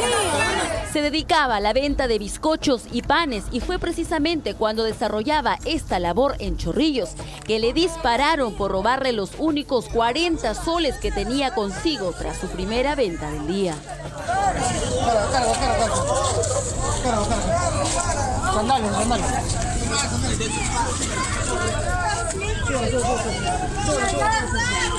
El disparo comprometió órganos vitales.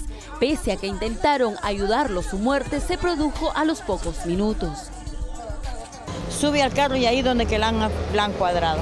Y como, bueno, dice el tío que, que porque no tenía dinero lo han, lo han ya lo han disparado. Aquí en el sector 3 de Delicias de Villa en Chorrillos, cuando la víctima terminaba de entregar sus primeros productos de panadería del día, precisamente a esta bodega, es en el instante que él avanza hasta este lugar para subir a su vehículo. Es que es interceptado por uno de los delincuentes armados. Sí, pero ya no hay.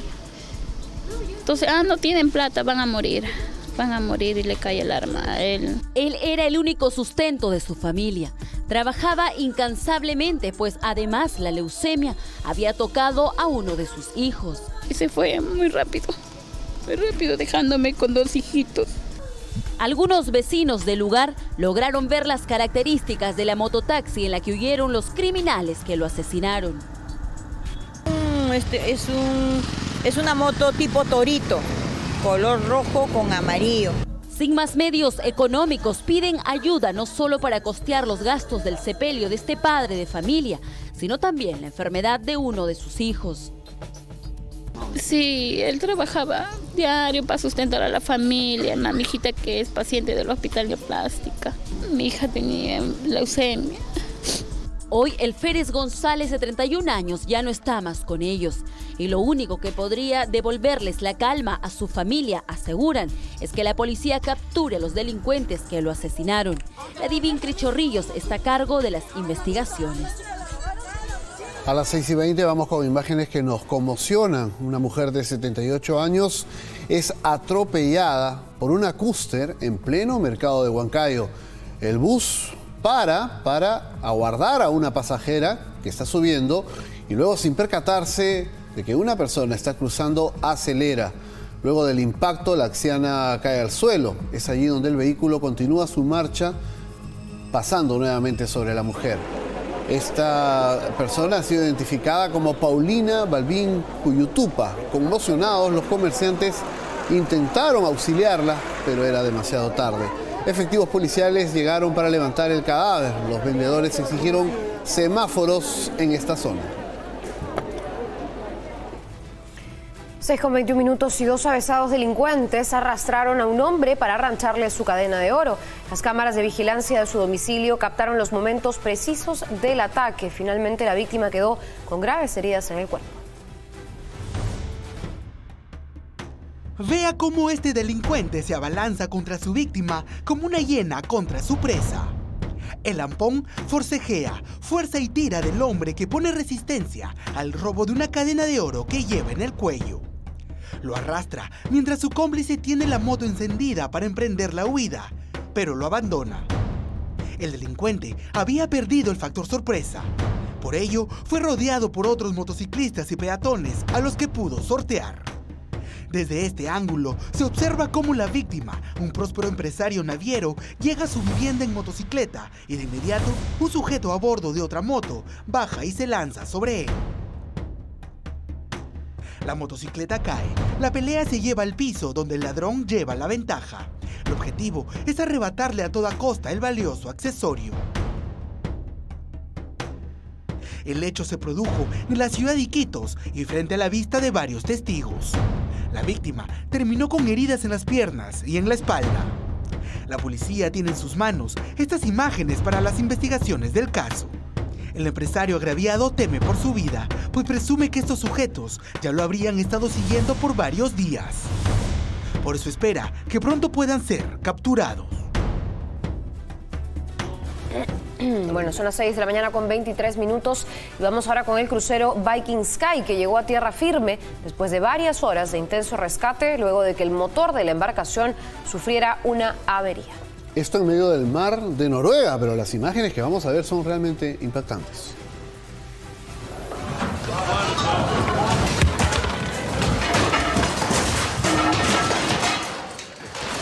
Estas imágenes muestran la pesadilla que vivieron los pasajeros en el interior del crucero Viking Sky.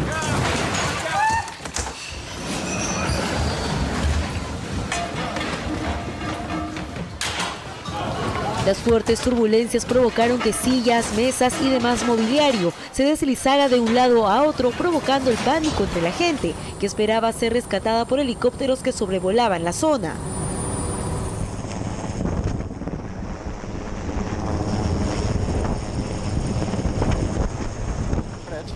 Lo que debieron ser unas vacaciones de ensueño terminó siendo la peor experiencia de unas 1.300 personas que viajaban a bordo.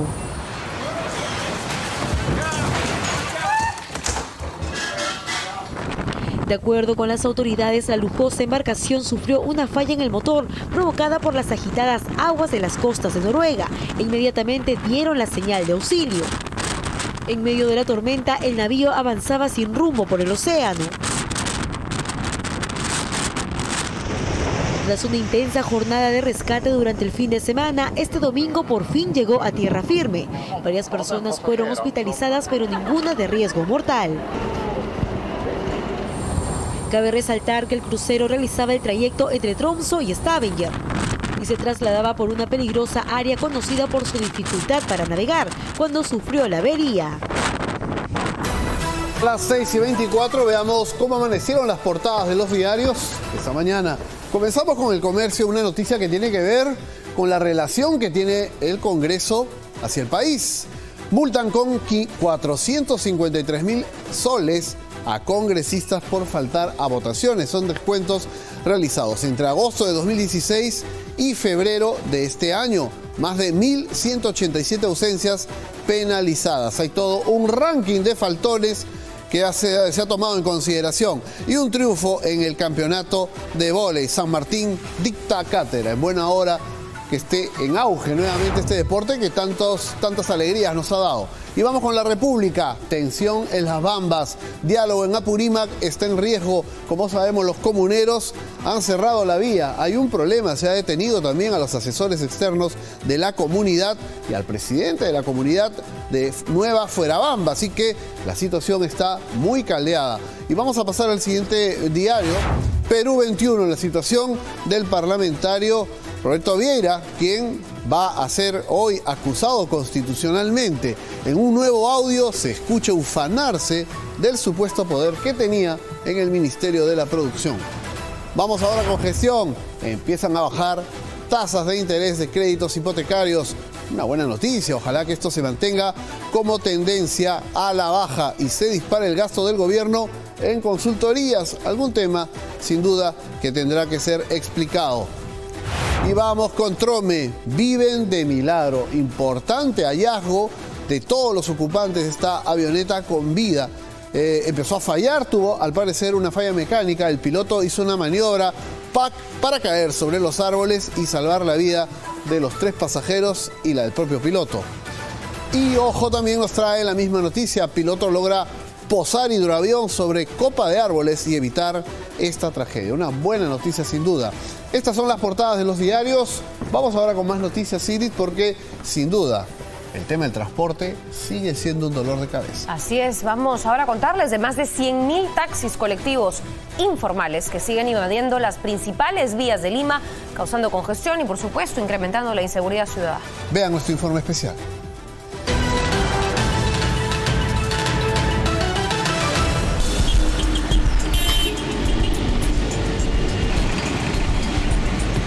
Improvisan paraderos y han sido protagonistas de hechos indignantes como estos.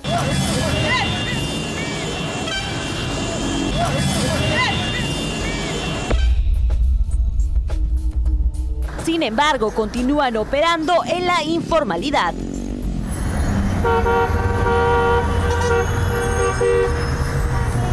Toque de claxon o su señal con los dedos, los transeúntes se lanzan a abordarlos.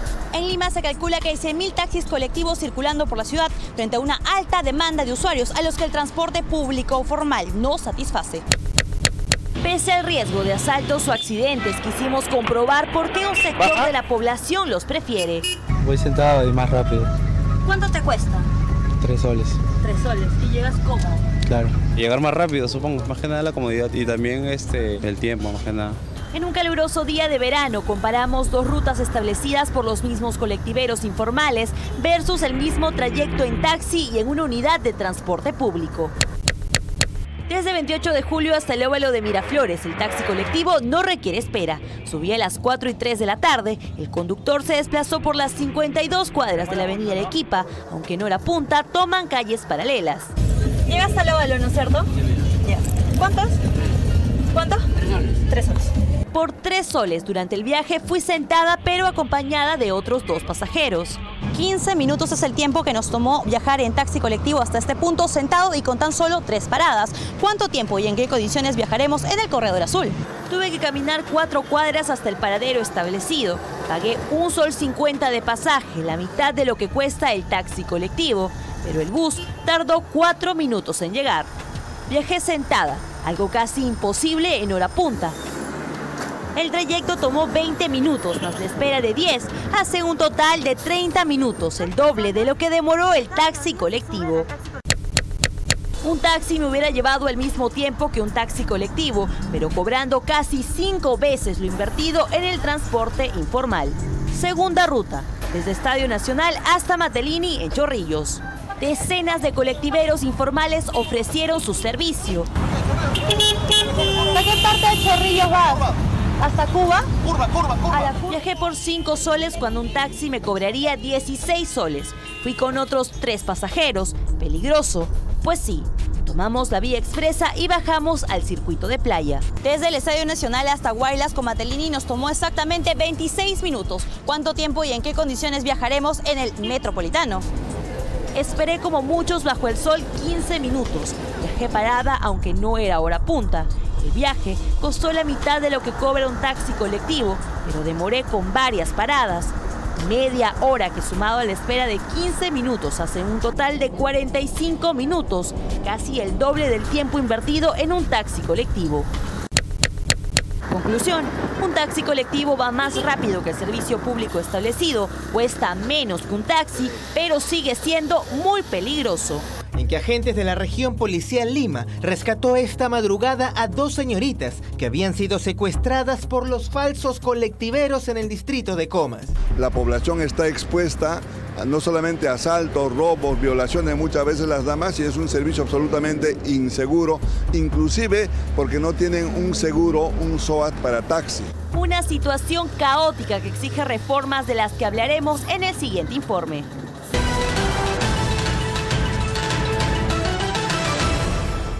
6 y 31 y lamentablemente se siguen presentando casos de acoso contra mujeres. Esta vez una valiente joven enfrentó a su acosador en la estación del Metropolitano de Tomás Valle en Independencia. Lo acusó además de tocamientos indebidos, veamos.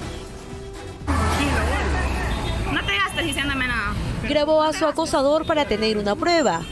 Este joven, según denunció la víctima, estuvo acosándola y tocándola indebidamente. No te gastes. El nombre de este presunto acosador es Fermín Hurtado Fuster, quien fue detenido por su propia víctima en el Metropolitano, donde habrían ocurrido los hechos. Eh, alguien me está rozando y para no reaccionar a, lo frío y a lo bruto, me quedé pensando ya tranquila, mira bien si está pasando esto.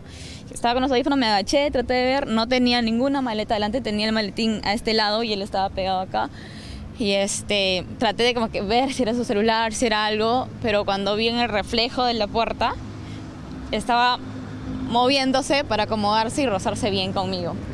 Fue en la estación Tomás Valle donde la joven logró bajar al sujeto del bus para increparle el hecho.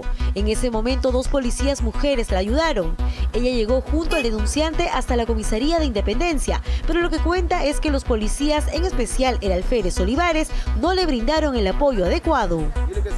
¿Ha burlada de alguna manera? Obvio, porque, o sea, o sea, me tratan mal y yo les digo, pero ¿por qué me tienen que tratar así? Y la excusa del alférez es que no todas las áreas están preparadas para, para atender este tipo de casos. Así que si reaccionó así es porque él, no tiene por qué hacerlo porque no está preparado para eso. Hurtado Fuster dijo ser estudiante universitario y trataba de negar el acoso. Sin embargo, la joven seguirá con la denuncia. 6 y 33 y vamos con este tema, Sigrid. Lamentablemente continúan robando celulares y continúan matando personas para robarlos. Y por ello seguimos en campaña, porque luego de conocer cómo se siguen vendiendo estos celulares robados en el mercado negro, Ociptel respondió y aseguró que dejaron de bloquear estos dispositivos a solicitud del Ministerio del Interior. Increíble. Vamos, a verlo. Muchos celulares robados acaban en la conocida galería El Sótano, en donde la delincuencia los revende pese a la campaña celular robado, celular bloqueado. Sobre esto, el Ministerio del Interior señaló que desde hace un mes Ociptel dejó de solicitar su participación en la toma de decisiones de esta campaña. Ante esto, dicho organismo le respondió.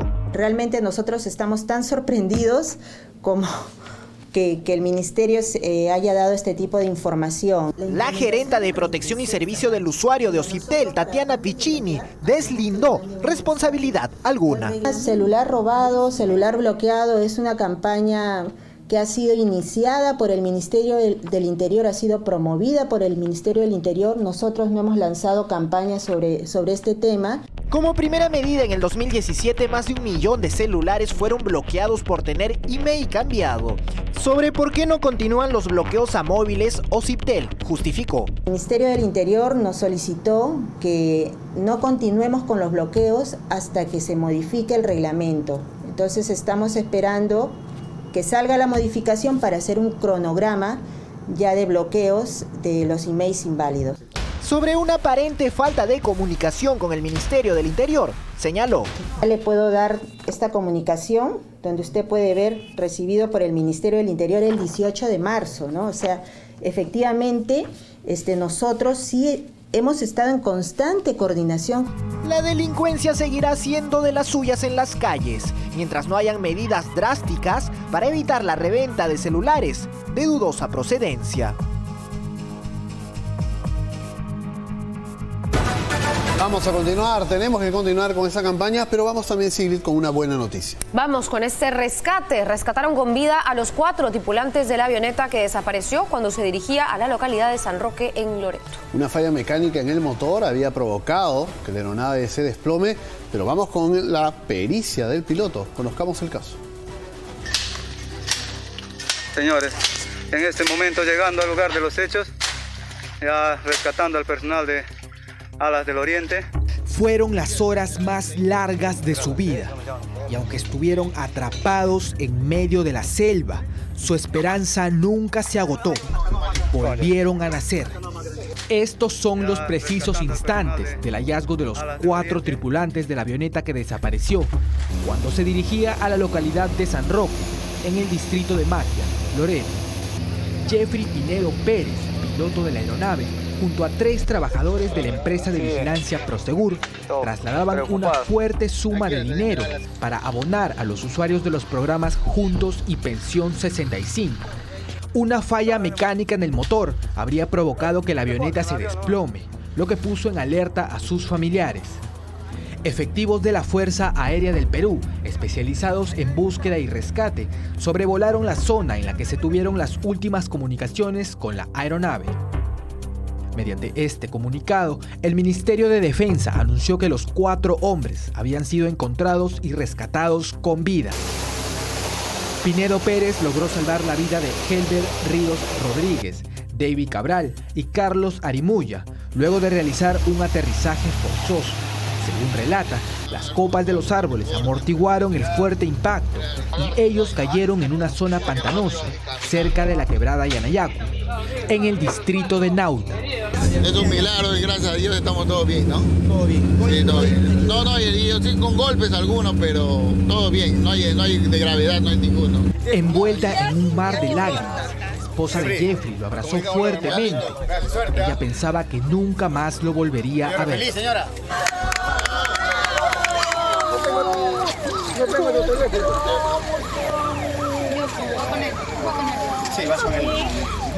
Afortunadamente, este accidente solo causó pérdidas materiales. Los heridos fueron trasladados a centros médicos para tratar sus contusiones. Ellos se encuentran recuperándose satisfactoriamente. Las 6 y 38 minutos nos vamos a la ruta vecinal. Hoy Adolfo Bolívar nos sorprende recorriendo Los Olivos, nada más y nada menos que acompañado del gerente de Seguridad Ciudadana, Daniel Urresti. Adelante, Adolfo. Vamos, Adolfo. Así es, Sigri, muy buenos días y temprano, a tempranito desde la una de la madrugada, el nuevo gerente, flamante gerente de Seguridad Ciudadana de Los Olivos, don Daniel Urresti, ha empezado trabajando en un operativo en el mercado de Guandoy. Eh, muy buenos días, señor Urresti. ¿Qué, ¿Cuál ha sido el operativo de hoy aquí en este mercado de Guandoy? Bien, esta zona eh, con- consta de 14 cuadras que estaba ocupada por cerca de 2.000 eh, ambulantes y 600 cachineros.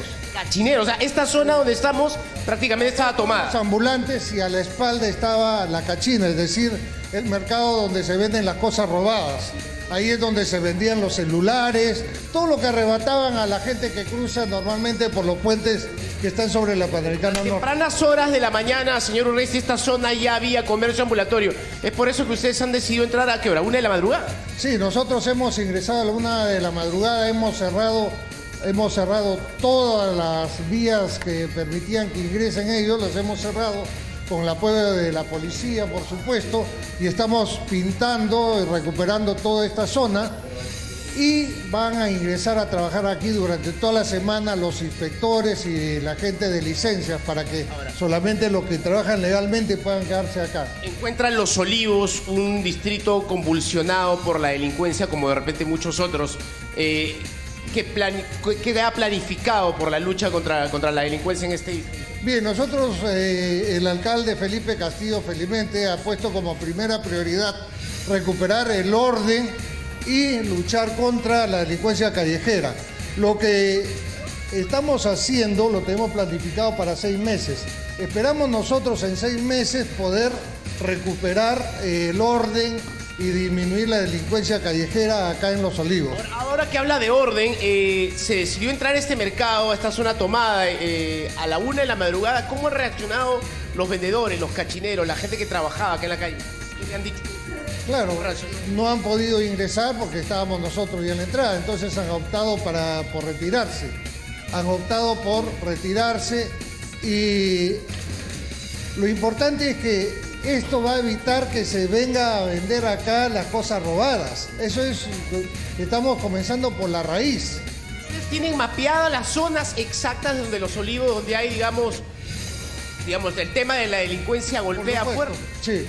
El 50% de los arrebatos se realizan sobre los puentes que están sobre la Panamericana Norte, porque a ambos lados de la Panamericana tenemos universidades, centros comerciales, etc.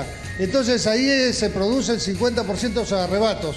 Yo espero en 30 días tener ya asegurados esos puentes con vigilancia policial permanente y del Serenazgo. Don Daniel, nos eh, acompaña en el set eh, Pedro Sigrid. Eh, Sigrid, Pedro, los escucha don Daniel Urresti para cualquiera de sus preguntas. Muy buenos días a ambos. Eh, gracias, señor Urresti, también por este enlace para conocer un poco la problemática, digamos, de los olivos. Ya tenemos mucha evidencia, muchos casos, lamentablemente, los vecinos están desesperados. Vemos que ha habido una buena coordinación con la policía. ¿Cómo se va a trabajar con la policía? Porque la municipalidad no reemplaza las funciones de la policía, pero pueden encontrar un entendimiento que ojalá otros municipios también fomenten. Efectivamente, yo quiero agradecer al ministro Carlos Morán y al comandante general de la policía, eh, porque ellos han entendido perfectamente cuál es nuestro sistema de trabajo. Nosotros sabemos que la policía está atada de manos. La policía no puede votar a los ambulantes, la policía no puede cerrar un local, Mm. porque no es su función, sería abuso de autoridad. Eso le corresponde a la municipalidad. Nosotros hemos tomado este lugar con nuestro serenazgo, con nuestros inspectores, etc. La policía aquí ha hecho acto de presencia para, para cuidarnos, para apoyarnos, para ver si se da en flagrancia algún delito. Si algunos de los que cachineros o los delincuentes o los que tenían lotizado estos terrenos, porque la mafia actúa igualito en dos sitios. Todos estos puestos para los ambulantes estaban lotizados y había mafias que cobraban. Si trataban ellos de atacarnos, para eso estaba la policía, para poder trabajar en flagrancia, ¿verdad? Entonces, nosotros entendemos perfectamente cuál es la función policial y por eso es que hemos recibido este apoyo. Señor Urresti, una consulta también acerca de cómo llega usted al municipio de Los Olivos, en qué momento lo convocan y cómo decide aceptar esta convocatoria. Eh, sabemos de sus proyecciones dentro de la política, pero como siempre, su tema ha sido la seguridad ciudadana. Cuéntenos. Así, bien, eh, yo tuve varias propuestas para trabajar en seguridad ciudadana de las regiones, puedo hablar de la región Callao, de la municipalidad de Callao y de otros, de otros sitios, inclusive provincias. Pero eh, ya cuando se trataba de aterrizar el tema, cuando yo hablaba con los alcaldes sobre cuál era eh, la forma en que yo quería trabajar, que requería de una honestidad total, pues, porque si no, eh, hay muchos sitios donde le conviene seguir teniendo ambulantes, mafias, porque reciben cupos. Entonces el alcalde Felipe del Castillo me dijo, no, tiene todo mi apoyo político. Yo le propuse una supergerencia donde no solamente tenga que ver el serenazgo, sino que tenga fiscalización, transporte, defensa civil y salubridad pública. Se habla de bandas, eh, eh, señor Urresti, organizadas, delincuenciales que están actuando en el distrito de Los Olivos y en Lima Norte. Y se está hablando también de bandas organizadas extranjeras. ¿Qué eh, información tiene usted acerca de eso? Sí, bueno, el modus, el modus operandi es, eh, bueno, el modus operandi es que eh, en los hoteles, acá tenemos casi 200 hoteles, vienen las bandas del interior del país o de afuera, se alojan ahí, planifican, hacen sus golpes y salen. Eso se va a acabar en seis meses. Con esta gerencia que tenemos... Pone un plazo de seis meses. Así de tajante. Sí, yo me he puesto un plazo de seis meses para recuperar el orden acá en Los Olivos y disminuir lo que es la delincuencia. Disminuir a niveles que permitan que el vecino pueda salir de su casa a su trabajo sin tener, sin tener el temor de convertirse en víctima. Hablando de vecinos, acá están los vecinos en Los Olivos Ah. que le están tomando fotos, quieren hablar. ¿Qué le tiene que decir al señor Urresti que asume la gerencia de seguridad ciudadana a partir de hoy, 25, empezó temprano? Excelente. Lo que los olivos necesitaba era autoridad, una persona que ponga orden, seguridad y limpieza. Y necesitamos que el general mantenga esto porque hay un caos vehicular, mototal. De acuerdo con el operativo que se ha empezado hoy día acá para poner un poco de orden en este mercado. Hace tiempo hubiera sido esto. Hace tiempo. Un desorden total. Era Tal cual, había un desorden total. acá. tráfico, pero horrible. Bueno, si lo dicen los vecinos, razón de... un día no se puede solucionar, Felicito ¿no? Muy bien, que lo haga así. Felicidades. Espero que, que sea para siempre, que no sea esta vez nomás, que sea para siempre ya. Usted está poniendo orden hoy acá y ya lo ha venido haciendo en La Victoria, la gerencia también de Seguridad Ciudadana, respecto al comercio ambulatorio en Gamarra. El alcalde Paz de la Barra de la Molina también tuvo su opinión acerca de cómo se está trabajando en tema de seguridad, seguridad ciudadana y fiscalización en Gamarra, en La Victoria. ¿Cuál es su opinión acerca del trabajo en La Victoria? Bueno, yo felicito al alcalde de George Forsyth y a Susel. Es más, cuando salió elegido George Forsyth, este, somos amigos de antes con George. A Susel se le decía a la Daniel Urresti ahora en La Victoria. Bueno, eh, con George somos amigos de mucho más antes, ¿no? Eh, hemos, eh, con él y con su papá. Cuando salió elegido en La Victoria, nos reunimos, este, conversamos, yo le hice conocer en mi experiencia cómo era La Victoria, las mafias que existían, y le dije, si quieres una buena punta y una buena ayuda, tienes que llamarla a Susel antes de que otro la jale. Y excelente, la llamó a Susel y están haciendo un trabajo magnífico. Acá hemos, estamos aplicando una táctica diferente. Acá eh, las gerencias no, no están por separado, sino que hemos convertido en su gerencia algunas de las más importantes para que trabajen directamente bajo mi comando. Eso es lo que va Sigrid Pedro, eh, vamos a seguir caminando, recorriendo el distrito de Los Olivos con el señor Daniel Urresti, que hoy, desde la una de la madrugada, estrenó el cargo de gerencia de seguridad ciudadana de Los Olivos, trabajando. ¿Alguna pregunta para regresar en cualquier instante? Vamos a volver contigo. Vamos a tener varias preguntas porque hay varios temas y también los vecinos ya nos escriben al WhatsApp de Latina haciéndonos algunos comentarios, preguntas. Para el señor Urresti, en general, los problemas de Lima, podemos empezar a encontrar lugares donde, como La Victoria, ojalá también Los Olivos, otros distritos encuentren solución y replicar aquello que es positivo en todas las ciudades. Gracias, Adolfo. Lo simpático es que nos ha dado un plazo de seis meses, además, para fiscalizar estas promesas del señor Urresti en Los Olivos. Vamos a cambiar de tema y continuamos en nuestra capital, en su visita. Fabiana Rosales, la esposa del presidente encargado de Venezuela, Juan Guaidó, ha participado en una misa en donde pidió por sus más de 700 mil compatriotas que viven en nuestro país. 700 mil venezolanos en el Perú ya. Ella también envió un mensaje a su esposo. Hagan la maleta que muy pronto nos vemos en casa. Llegó para dar un mensaje de esperanza a los más de 700 mil venezolanos que radican en el Perú. Ella es Fabiana Rosales, la esposa del presidente interino de Venezuela, Juan Guaidó, quien arribó a nuestro país desde Chile como parte de una gira internacional. Que no perdamos la fe, que nuestro presidente trabaja todos los días para que el cese de la usurpación, sea que es nuestro primer paso de la ruta, se concrete en muy poco tiempo. Como parte de sus actividades, la primera dama de profesión periodista decidió asistir a una misa en la parroquia de la Virgen Milagrosa en Miraflores. A su salida, aprovechó para exigir la liberación de Roberto Marrero, quien era el brazo derecho del presidente encargado Juan Guaidó, hasta que fue arrestado y acusado de supuestos actos terroristas por el régimen de Nicolás Maduro. La libertad, Roberto Marrero es una persona que hoy se encuentra secuestrada por el régimen de Nicolás Maduro. Nicolás Maduro es un verdugo que pretende perturbar eh, al equipo cercano del presidente Juan Guaidó. En la puerta de la parroquia la esperaron varios niños venezolanos que le obsequiaron flores y un rosario, del que no se despegó en todo el acto litúrgico. Además anunció que a pesar de lo que ocurrió con Marrero, su esposo y ella no piensan abandonar Venezuela. No, para nada. Esa es nuestra tierra, ese es nuestro país y para allá vamos. Juan sigue en Venezuela, sigue recorriendo cada rincón de nuestro país. El sábado se reunió también con la diáspora venezolana en Perú, en la concha acústica de Jesús María. 6 de la mañana con 50 minutos y mucha atención si está a punto de salir de casa. Vamos a ver tres puntos importantes del tráfico esta mañana a las 6 y 51. Se ha registrado un choque en la Panamericana Sur, esto cerca de Santiago de Surco, muy cerca también de la avenida Primavera del Colegio Virgen La Inmaculada. Ahí lo estamos viendo precisamente, llegando a ese intercambio vial. Velocidad 24 kilómetros de ida hacia el sur, es decir, perdón, hacia el norte, es decir que la cosa está un poco lenta. Así es, nos vamos al siguiente punto y eso que nos muestra el Waze.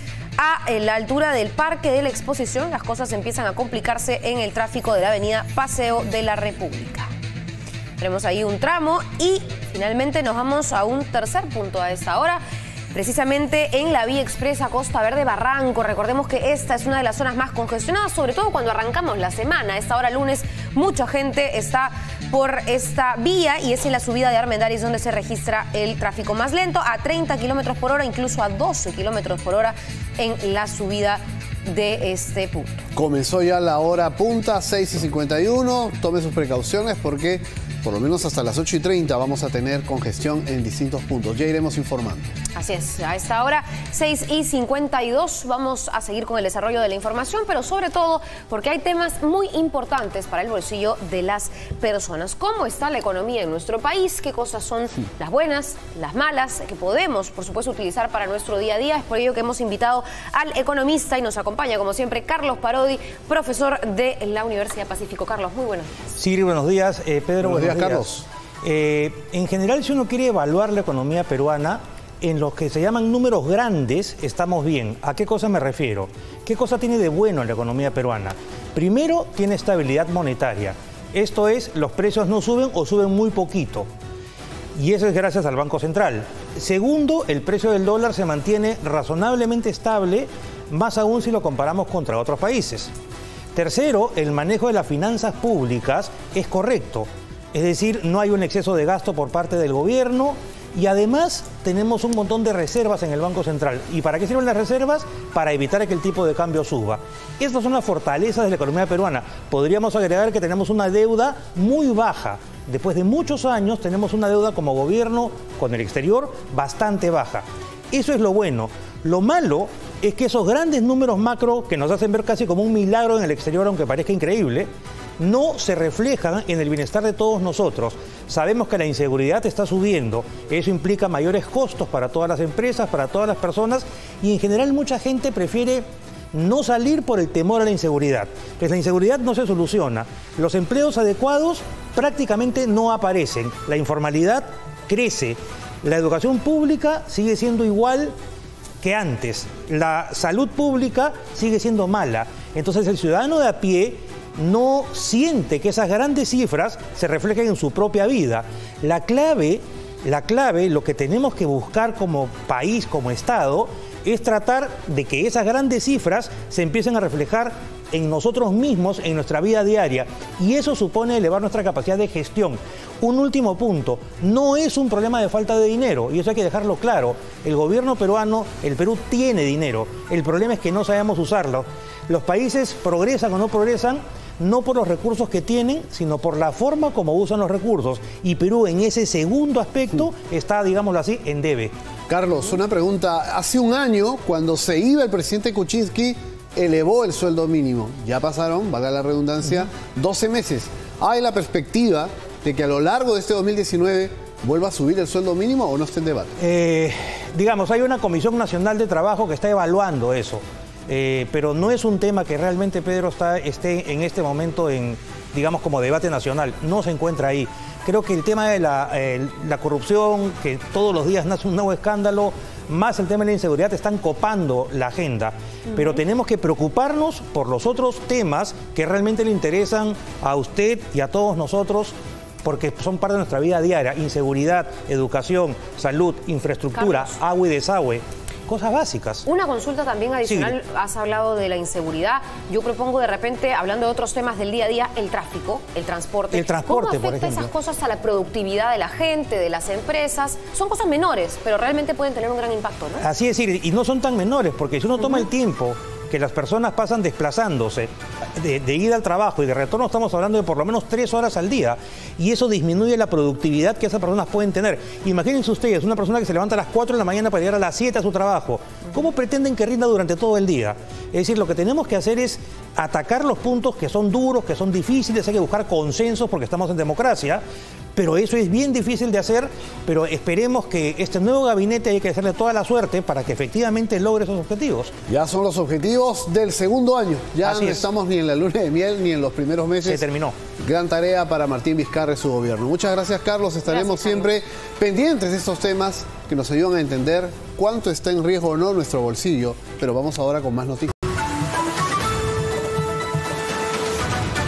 Iniciamos una nueva hora informativa e iniciamos la semana, por eso Vamos con mucha fuerza. Muy buenos días, Siri. Muy buenos días, Pedro. Muy buenos días a los amigos que se enganchan a la señal de Latina. Buen lunes, buen inicio de semana. Arrancamos una hora más con nuestros titulares. Les contamos esta mañana que continúan graves los bomberos que sufrieron quemaduras en incendio de almacén en Villa El Salvador. No contaban con un equipo especial y el comandante general señaló que no se han comprado nuevos equipos desde hace cinco años para nuestros bomberos. Y una valiente joven denunció a un sujeto que la acosaba al interior de un bus del metropolitano. Ella grabó a su agresor, quien segundos antes le había realizado tocamientos indebidos. Y más de 100.000 taxis colectivos informales invaden las principales vías de la capital, causando congestión e incrementando la inseguridad. Pasajeros exponen sus vidas dentro de estos vehículos que en muchos casos son conducidos por delincuentes. Encuentran con vida a los cuatro ocupantes de una avioneta que había caído en la selva de Loreto. Piloto contó que accidente se debió a un desperfecto mecánico. Y punto final pone al descubierto una red internacional que otorga títulos falsos. Rector de Universidad Alas Peruanas solicitó ante la SUNEDU la validación de doctorado emitido por una casa de estudios brasileña de dudosa procedencia. 7 y un minuto y vamos atentos a la temperatura que estamos en otoño ya, Siri, Ya. pero continúa calentando. 20 grados centígrados a esta hora, 7 con un minuto. La máxima estimada para el día de hoy, hasta 27 grados. Así que ya lo sabe, a protegerse de los rayos ultravioletas. Sobre todo ellos, pero vamos ahora con más noticias. En Villa María del Triunfo se están velando los restos de un humilde distribuidor de bizcochos. Lamentablemente, este señor fue asesinado en Chorrillos por delincuentes por robarle 40 soles. Veamos la nota. Ahí estoy grabando. Junto a su esposa y sus dos hijos, este fue el último viaje a Tocache que el Férez Fernández realizó sin presagiar que a las pocas semanas perdería la vida a manos de la delincuencia en Lima.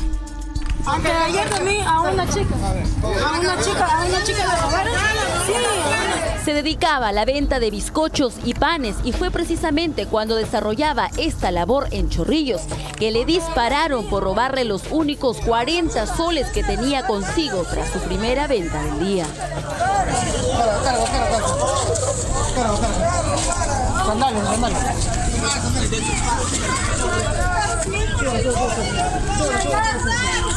El disparo comprometió órganos vitales. Pese a que intentaron ayudarlo, su muerte se produjo a los pocos minutos. sube al carro y ahí donde que la han, han cuadrado. Y como, bueno, dice el tío que, que porque no tenía dinero lo han, lo han, sea, lo han disparado. Aquí en el sector 3 de Delicias de Villa en Chorrillos, cuando la víctima terminaba de entregar sus primeros productos de panadería del día, precisamente a esta bodega, es en el instante que él avanza hasta este lugar para subir a su vehículo. Es que es interceptado por uno de los delincuentes armados. Sí, pero ya no hay. Entonces, ah, no tienen plata, van a morir.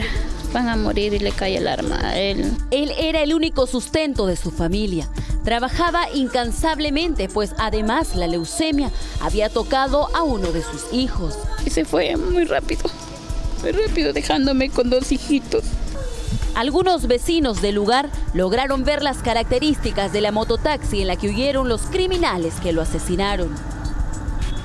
Mm, Este es un es una moto tipo Torito, color rojo con amarillo. Sin más medios económicos piden ayuda no solo para costear los gastos del sepelio de este padre de familia, sino también la enfermedad de uno de sus hijos. Sí, él trabajaba diario para sustentar a la familia. Mi hijita que es paciente del hospital de plástica. Mi hija tenía leucemia. Hoy el Férez González de 31 años ya no está más con ellos y lo único que podría devolverles la calma a su familia, aseguran, es que la policía capture a los delincuentes que lo asesinaron. La Divin Crichorrillos está a cargo de las investigaciones. Una tragedia para una familia con muchas necesidades. A esta hora, 7 y 4, vamos en vivo. Nos vamos en vivo para seguir este terrible caso. Karina Chávez nos informa desde Villa María del Triunfo. Karina, adelante. ¿Cómo están? Muy buenos días. Estamos en el velorio del señor El Pérez, de tan solo 32 años y que lamentablemente ha fallecido luego de este asalto. Tan solo por robarle 40 soles lo atacaron y hoy tenemos eh, esta escena, ¿no? Velarlo, un padre de familia eh, esforzado, un padre de familia dedicado a eh, todos los integrantes de su familia que había formado dos hijitos, uno de ellos eh, la niñita de 13 años lamentablemente tiene leucemia. Yo estoy acá acompañada de la señora Yolanda. Nuestro más sentido pésame. Entendemos que con toda la familia están atravesando un momento difícil. ¿Y hay algún avance, algún avance en la investigación hasta el momento? Esto ocurrió el sábado por la mañana. ¿Hay algún avance en la investigación, señora? Buenos días. Bueno, no, no tengo ni una información todavía. No espero que la policía esté ya trabajando y de con el delincuente, bueno, que me arrebató a mi esposo y me dejó, bueno, sola con mis hijos. Habíamos comentado que justo su hermana, eh, perdón, su hijita de 13 años tiene leucemia. Ustedes necesitan, son una familia humilde, ellos necesitan apoyo. Para, hasta el momento no tienen concretado eh, el, el, cementerio. Por otro lado, tienen el tratamiento eh, de leucemia de su hija mayor de 13 añitos. Sí, bueno, sí, todavía mi esposo estoy en nada porque voy recién voy a ir a tramitar la municipalidad para poderlo ya enterrar a mi esposo porque ya está avanzado, ya está hinchado, todo morado y está comenzando ya a sangrar, entonces no espero las autoridades de Villa María, alcalde, que bueno, de aquí en media hora estoy yendo y que me ayuden que me apoye. Así es, apoyo es lo que se necesita en este momento. Además, el Señor era el sustento de la familia. Repetimos, también necesitan ayuda económica porque tienen a una menor con leucemia. Ella está en tratamiento. ¿Qué les está haciendo falta, señora Yolanda? Bueno, mi hijita, gracias a Dios, está estable. Sí, ella se trata, se trata, ¿no? A mí me gustaría que me apoye más que todo psicológicamente porque ella el día que yo le di la noticia entró en pánico, en show, comenzó a gritar, no creía que su papá, ¿no? Fallecido. Ayer igual lo traigo. No, no cree, no cree, ¿no? Y yo sé que ella va a necesitar mucho apoyo, mucho apoyo. Sí, sí, eh, dime.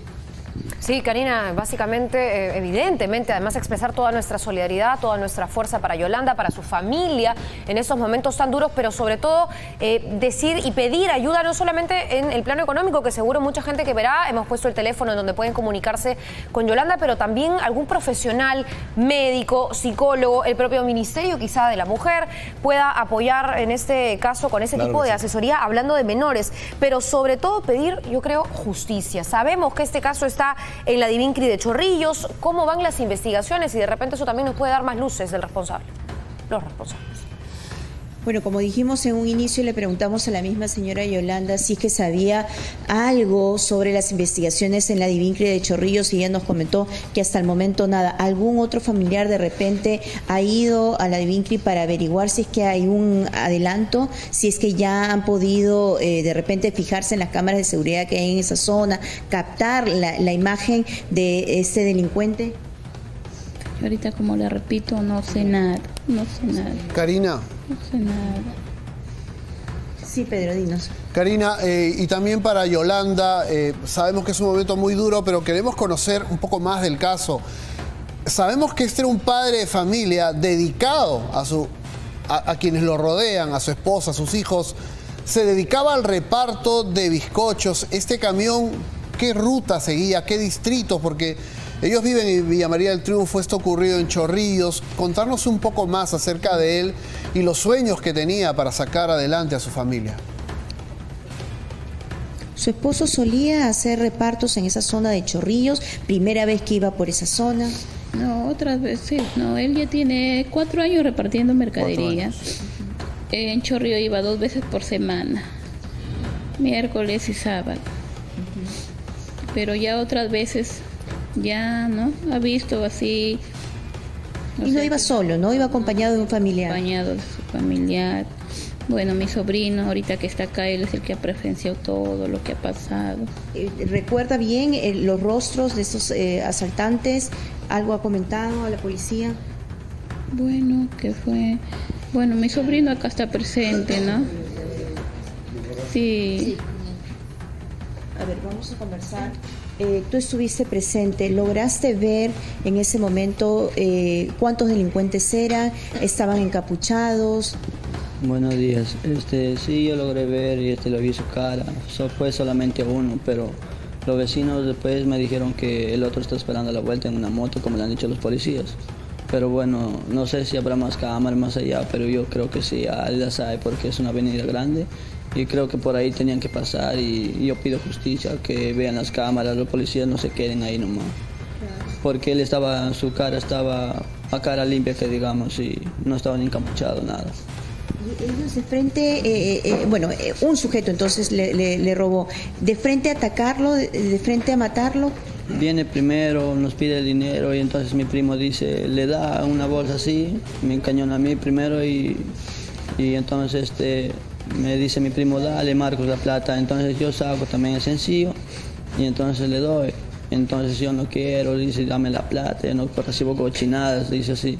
Entonces mi primo le dice, entonces recibe, ya corre, ya le dice.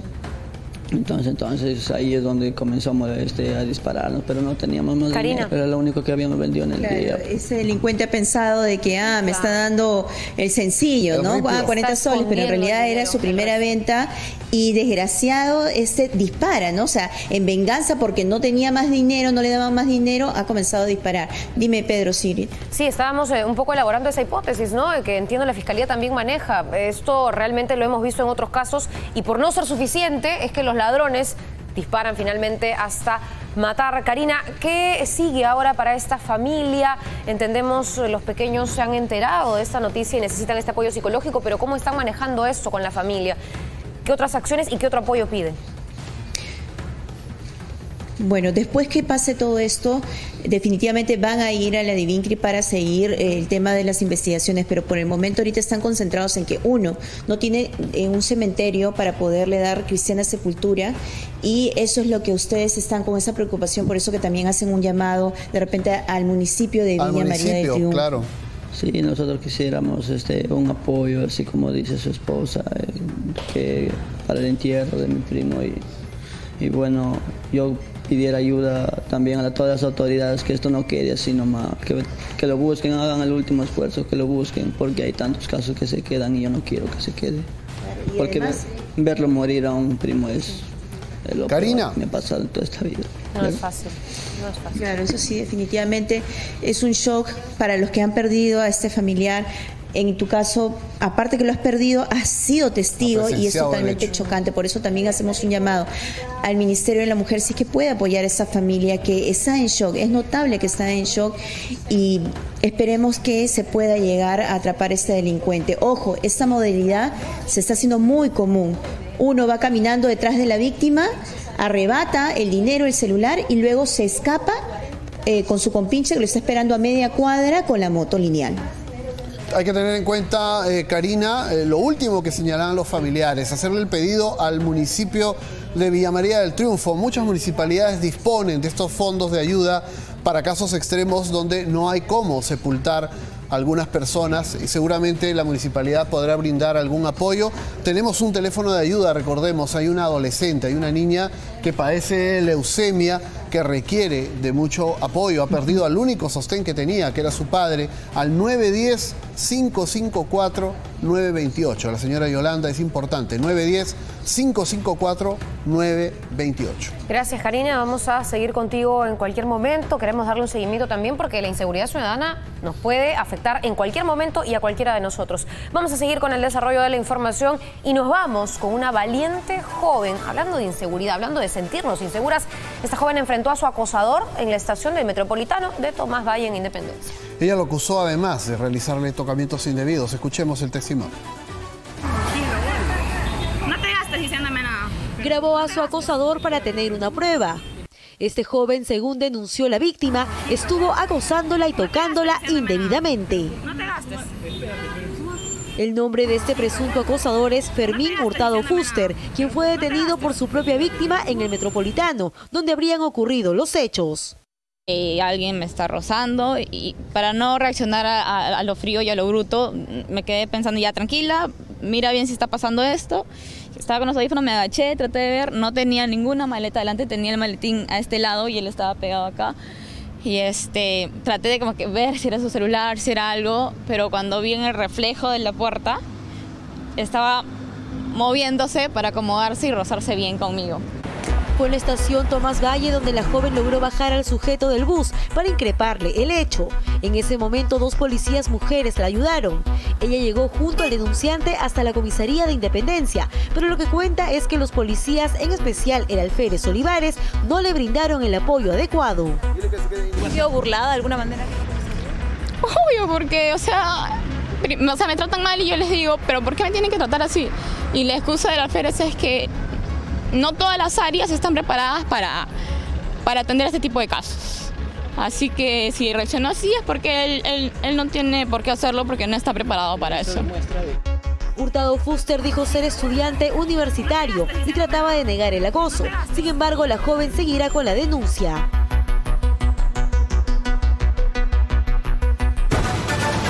Este fin de semana le consultaron al presidente Vizcarra acerca de los casos de feminicidio. Él ha señalado que es importante combatir el machismo, pero lamentablemente continuamos enfrentando este flagelo. Y tenemos que seguir viendo estos casos. Han sido sepultados los restos de la joven, cuyo cuerpo fue hallado en una cueva en el Agustino. Por supuesto, los familiares están pidiendo ayuda psicológica para el hijo de esta víctima de feminicidio que solo tiene siete años. Siete años.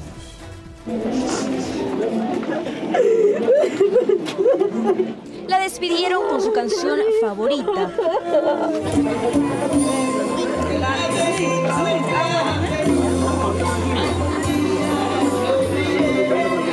No puede quedar impune.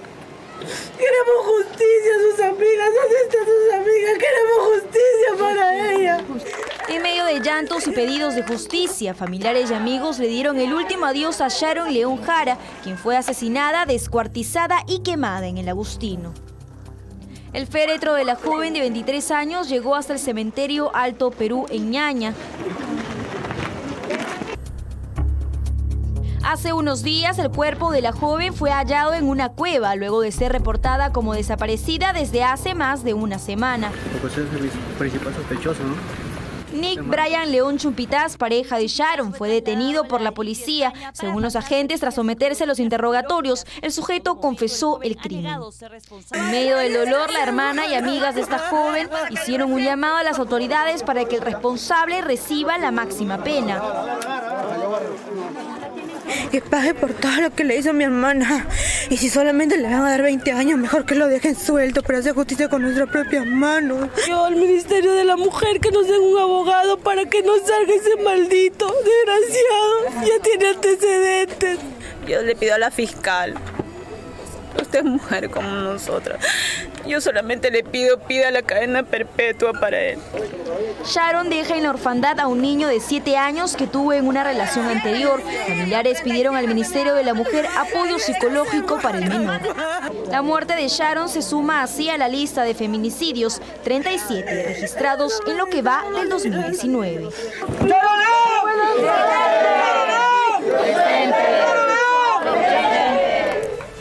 Y preste mucha atención, si va por la calle, ni celulares en mano, ni cadenas de oro. Ya lo sabe, porque dos avesados delincuentes arrastraron a un hombre para arrancharle su cadena de oro. Las cámaras de vigilancia de su domicilio captaron los momentos precisos del ataque.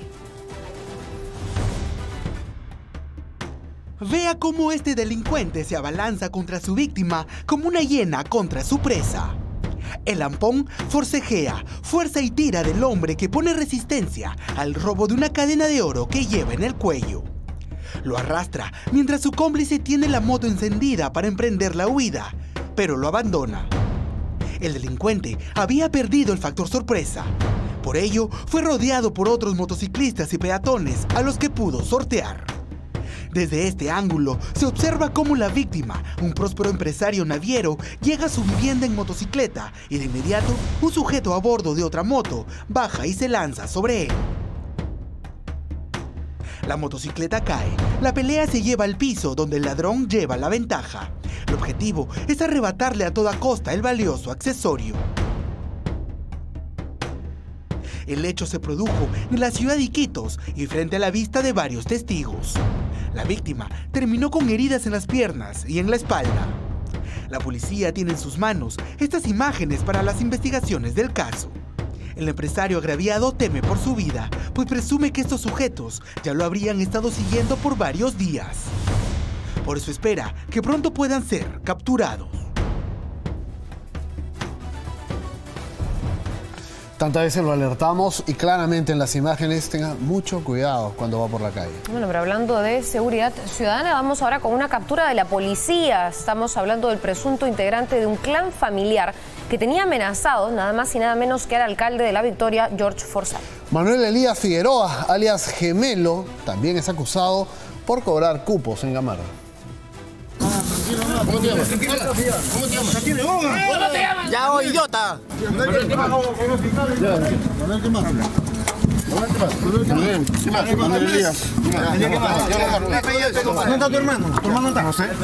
Este sujeto que trata de zafarse de manos de la policía es Manuel Ernesto Elías Figueroa, uno de los integrantes de un supuesto clan familiar que había estado amenazando al alcalde de la Victoria, George Forsyth, por varias semanas, pues se dedicarían al cobro de cupos a los ambulantes de Gamarra.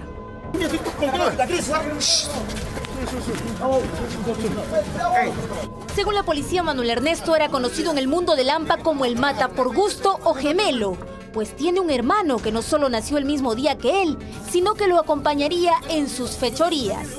Según este documento secreto de la Policía Nacional, se habría estado planeando un posible atentado contra el alcalde y detrás habrían estado los gemelos Manuel Ernesto y Miguel Ángel Elías Figueroa, además de un tercer hermano de estos llamado Jonathan. Hay hechos bastante graves, los cuales han hecho que me han comunicado hoy que debo de redoblar la, la seguridad, no, no solo mía, sino de su celo. La policía informó que el detenido estaría implicado en el asesinato de Óscar Farfán Villaverde de 43 años, quien murió el 24 de febrero de tres impactos de bala. Por este caso, el decimotercer juzgado penal de turno permanente de Lima resolvió procedente su detención preliminar. Se allanó la vivienda del Mata por Gusto, ubicada en la cuadra 13 del Girón Humboldt. Pero Manuel Ernesto trató de fugar saltando una casa contigua. Aún así, se logró su captura y la incautación de un arma.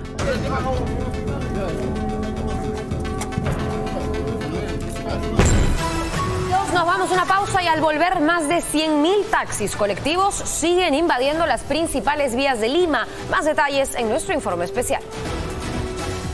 Y también vecinos de Magdalena viven bajo amenaza, pues a diario sufren por robos al paso en sus propias casas. Ustedes tienen que ver estas imágenes luego de la pausa.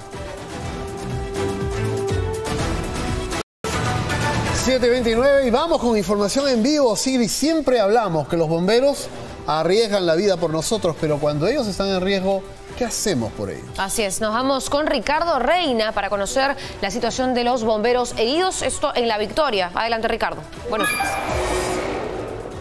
Sigrid Pedro, Pedro, muy buenos días. Nosotros nos encontramos a las afueras, en realidad en el frontis del Hospital Guillermo Almenara de Salud, aquí en el Distrito de La Victoria. Estamos en compañía de Fiorella Molinelli, quien es la presidenta ejecutiva de salud, del doctor Jorge Amorós, quien es el director de este hospital, y también del el comandante Ángeles quien está aquí en este lugar porque los eh, agentes bomberiles que resultaron heridos ayer tras los trabajos de sofocación de un incendio en Villa El Salvador resultaron con quemaduras de segundo y tercer grado. Inmediatamente vamos a conversar con ellos para conocer un poco su situación médica. Buenos días, señora Molina. ¿Nos puede decir cuál es el cuadro médico de estos pacientes? Sí, en primer lugar, lamentar lo sucedido el día de ayer con nuestros eh, valientes y admirables eh, bomberos.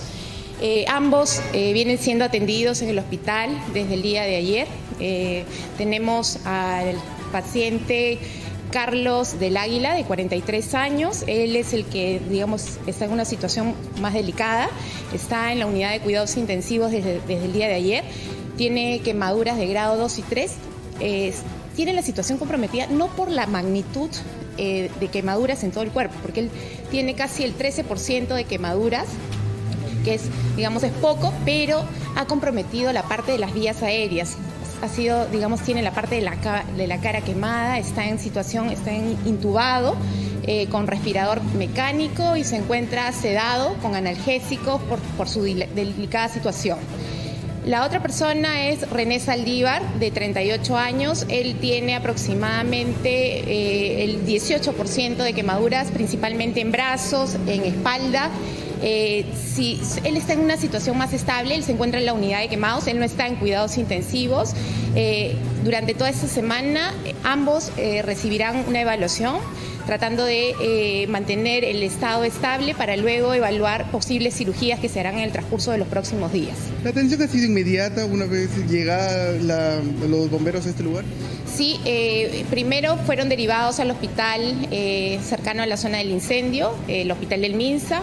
Luego coordinamos con la ministra Tomás para trasladarlos a esa unidad especializada de, eh, de la Almenara, que como ustedes saben es emblemática a nivel nacional respecto a cómo eh, atiende a todas estas situaciones delicadas. Hemos atendido aten- anteriormente a Eivi, Ágreda, a Juanita Mendoza, como ustedes recuerdan. Y eh, Aquí yo quiero agradecer a nuestro cuerpo asistencial, a nuestros médicos por la dedicación y la entrega que desde el día de ayer vienen eh, realizando con esos dos pacientes. Justamente es que podemos hablar también con el doctor Amorós. Doctor, ¿nos puede decir, existe la posibilidad de que se le pueda implantar piel a estos agentes? Eh, si la quemadura es muy extensa, se hacen implantes, eh, se toma una parte de tejido del área sana y se coloca en las zonas afectadas. Hay que primero hacer una escarectomía, hay que remover el tejido necrosado y eso se va a hacer en los siguientes días. ¿no? Eh, lógicamente, en el caso del señor Carlos Manuel, con él ah, eh, que está en ventilación mecánica probablemente sea un poquito más ah, alejado, en dos o tres días quizás. En cambio con René Saldívar probablemente sea entre hoy y mañana. Eh, la condición del señor René Saldívar es estable, está consciente, he estado conversando con él en la mañana. Él, digamos, eh, mucho mejor pronóstico, entre comillas. Con el caso de Carlos Manuel hay que esperar un poco. Eh, sigue en ventilación mecánica para que esté acoplado al ventilador. Sí, el problema aquí es la vía respiratoria que ha sido dañada y hay que esperar. Mientras vamos esperando, conversamos con el comandante Andrés Ángeles. Sigrid, te escucho la pregunta que tengas, pero la primera que quiero hacerle al comandante es cómo se encuentran ellos, en su estado de ánimo, ¿cuál es? Bueno, este, uno está inconsciente, Carlos del Águila, eh, y René sí está consciente, eh, está con un ánimo, eh, podemos decir que no deprimido, ¿no? Eh, ha sufrido el infarto de, de toda esta eh, emergencia. Ricardo. Pero en términos generales yo abrigo la esperanza de que los bomberos se van a recuperar, ¿no? Las atenciones que está prestando acá el Instituto de Seguridad Social son de primera.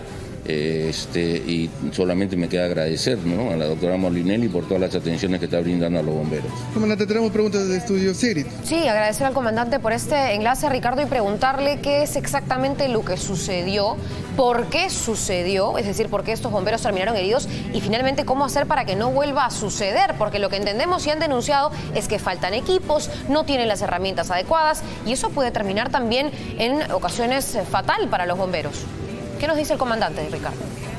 Comandante, comandante, hablar un poco sobre el procedimiento, qué fue lo que ocurrió, cómo ocurrió ya. y un poco sobre el implemento que tienen ustedes. ¿Es el necesario para cubrir este tipo de emergencias? Bueno, la emergencia se ha producido en el distrito de este, Villa El Salvador. Es un depósito de chatarra, donde llegan los chatarreros minoristas y dejan ahí, venden su chatarra, de aproximadamente 700 metros cuadrados. Todo esto estaba totalmente cerrado. Tanto René como Manuel han ingresado por una puerta de doble hoja que tiene también a su vez una puerta pequeña. Han cortado los candados, a la hora que han cortado los candados han ingresado y en esta zona de El Salvador se producen muchos vientos encontrados. Entonces ha habido un remolino que a la hora que han ingresado les ha cerrado la puerta y los ha rinconado contra la puerta. Se ha producido un fogonazo, no explosión, un fogonazo por el mismo aire encontrado que lo quema a Carlos. Le destroza la máscara, el equipo y se produce otro segundo fogonazo donde René, el seccionario, se tira encima de él para cubrirle que ya no se siga quemando, por eso es que René tiene toda la espalda quemada, ¿no? Y este, esto evitó que Carlos pueda de repente hoy día no estar con nosotros, ¿no? Entonces, eh, con relación a los equipos, también tengo que decir que estos equipos ya cumplieron su, su ciclo de vida, que son de cinco años. Estos equipos son donados por Estados Unidos, Canadá, Japón, cumplen sus cinco años, nos lo regalan nosotros lo aceptamos como donación y estos son los equipos que usan los bomberos. Ricardo. Equipos que, ya cumplieron, que son descartables prácticamente y yo creo que si hubiesen estado con equipos de última generación, los daños hubiesen sido menores. Ricardo, y queremos hacer en, en ese sentido, en ese sentido queremos hacer una pregunta al comandante. Muy buenos días. ¿Se están comprando los equipos que necesitan nuestros bomberos? ¿Hay algún proceso de compra en camino? Eh, mire, la Intendencia Nacional de Bomberos le ha transferido al Ministerio del Interior para que realicen eh, una licitación de equipos de protección personal y de equipos autocontenidos. Sé que hoy día se publican ya las bases, todo, para realizar esta licitación, pero lamentablemente somos 17 mil bomberos y se va a hacer una licitación de 200 equipos.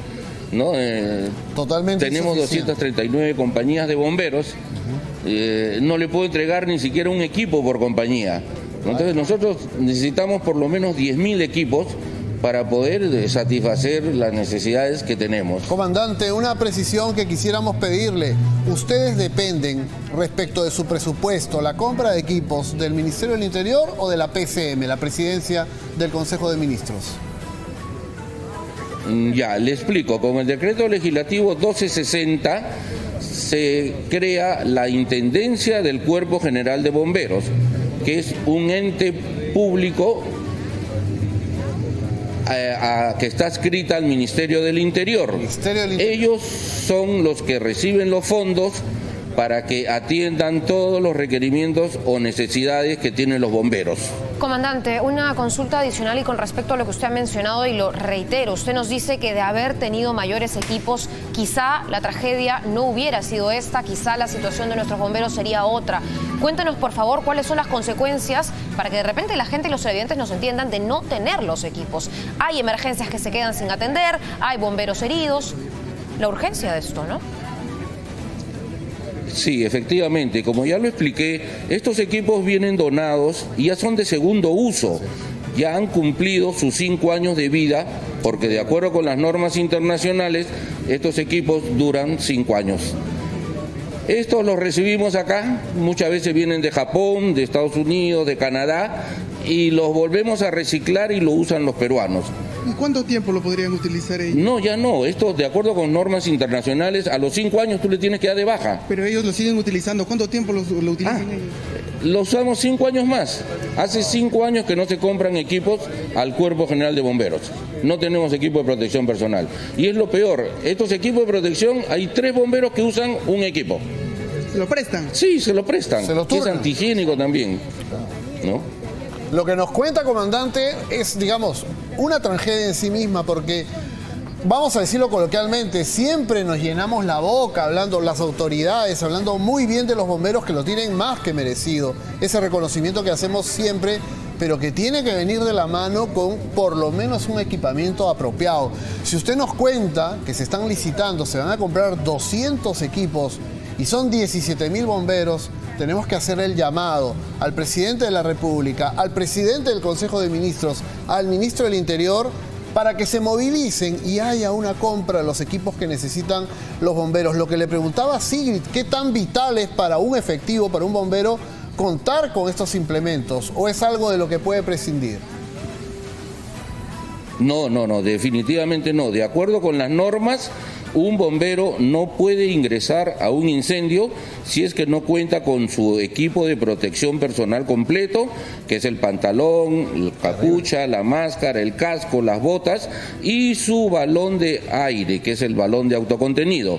Si no tiene el equipo completo está prohibido, no puede ingresar a la emergencia. Entonces digamos que de tener pocos equipos también se reduce la posibilidad de que más bomberos puedan atender una emergencia de manera más eh, pronta, ¿no?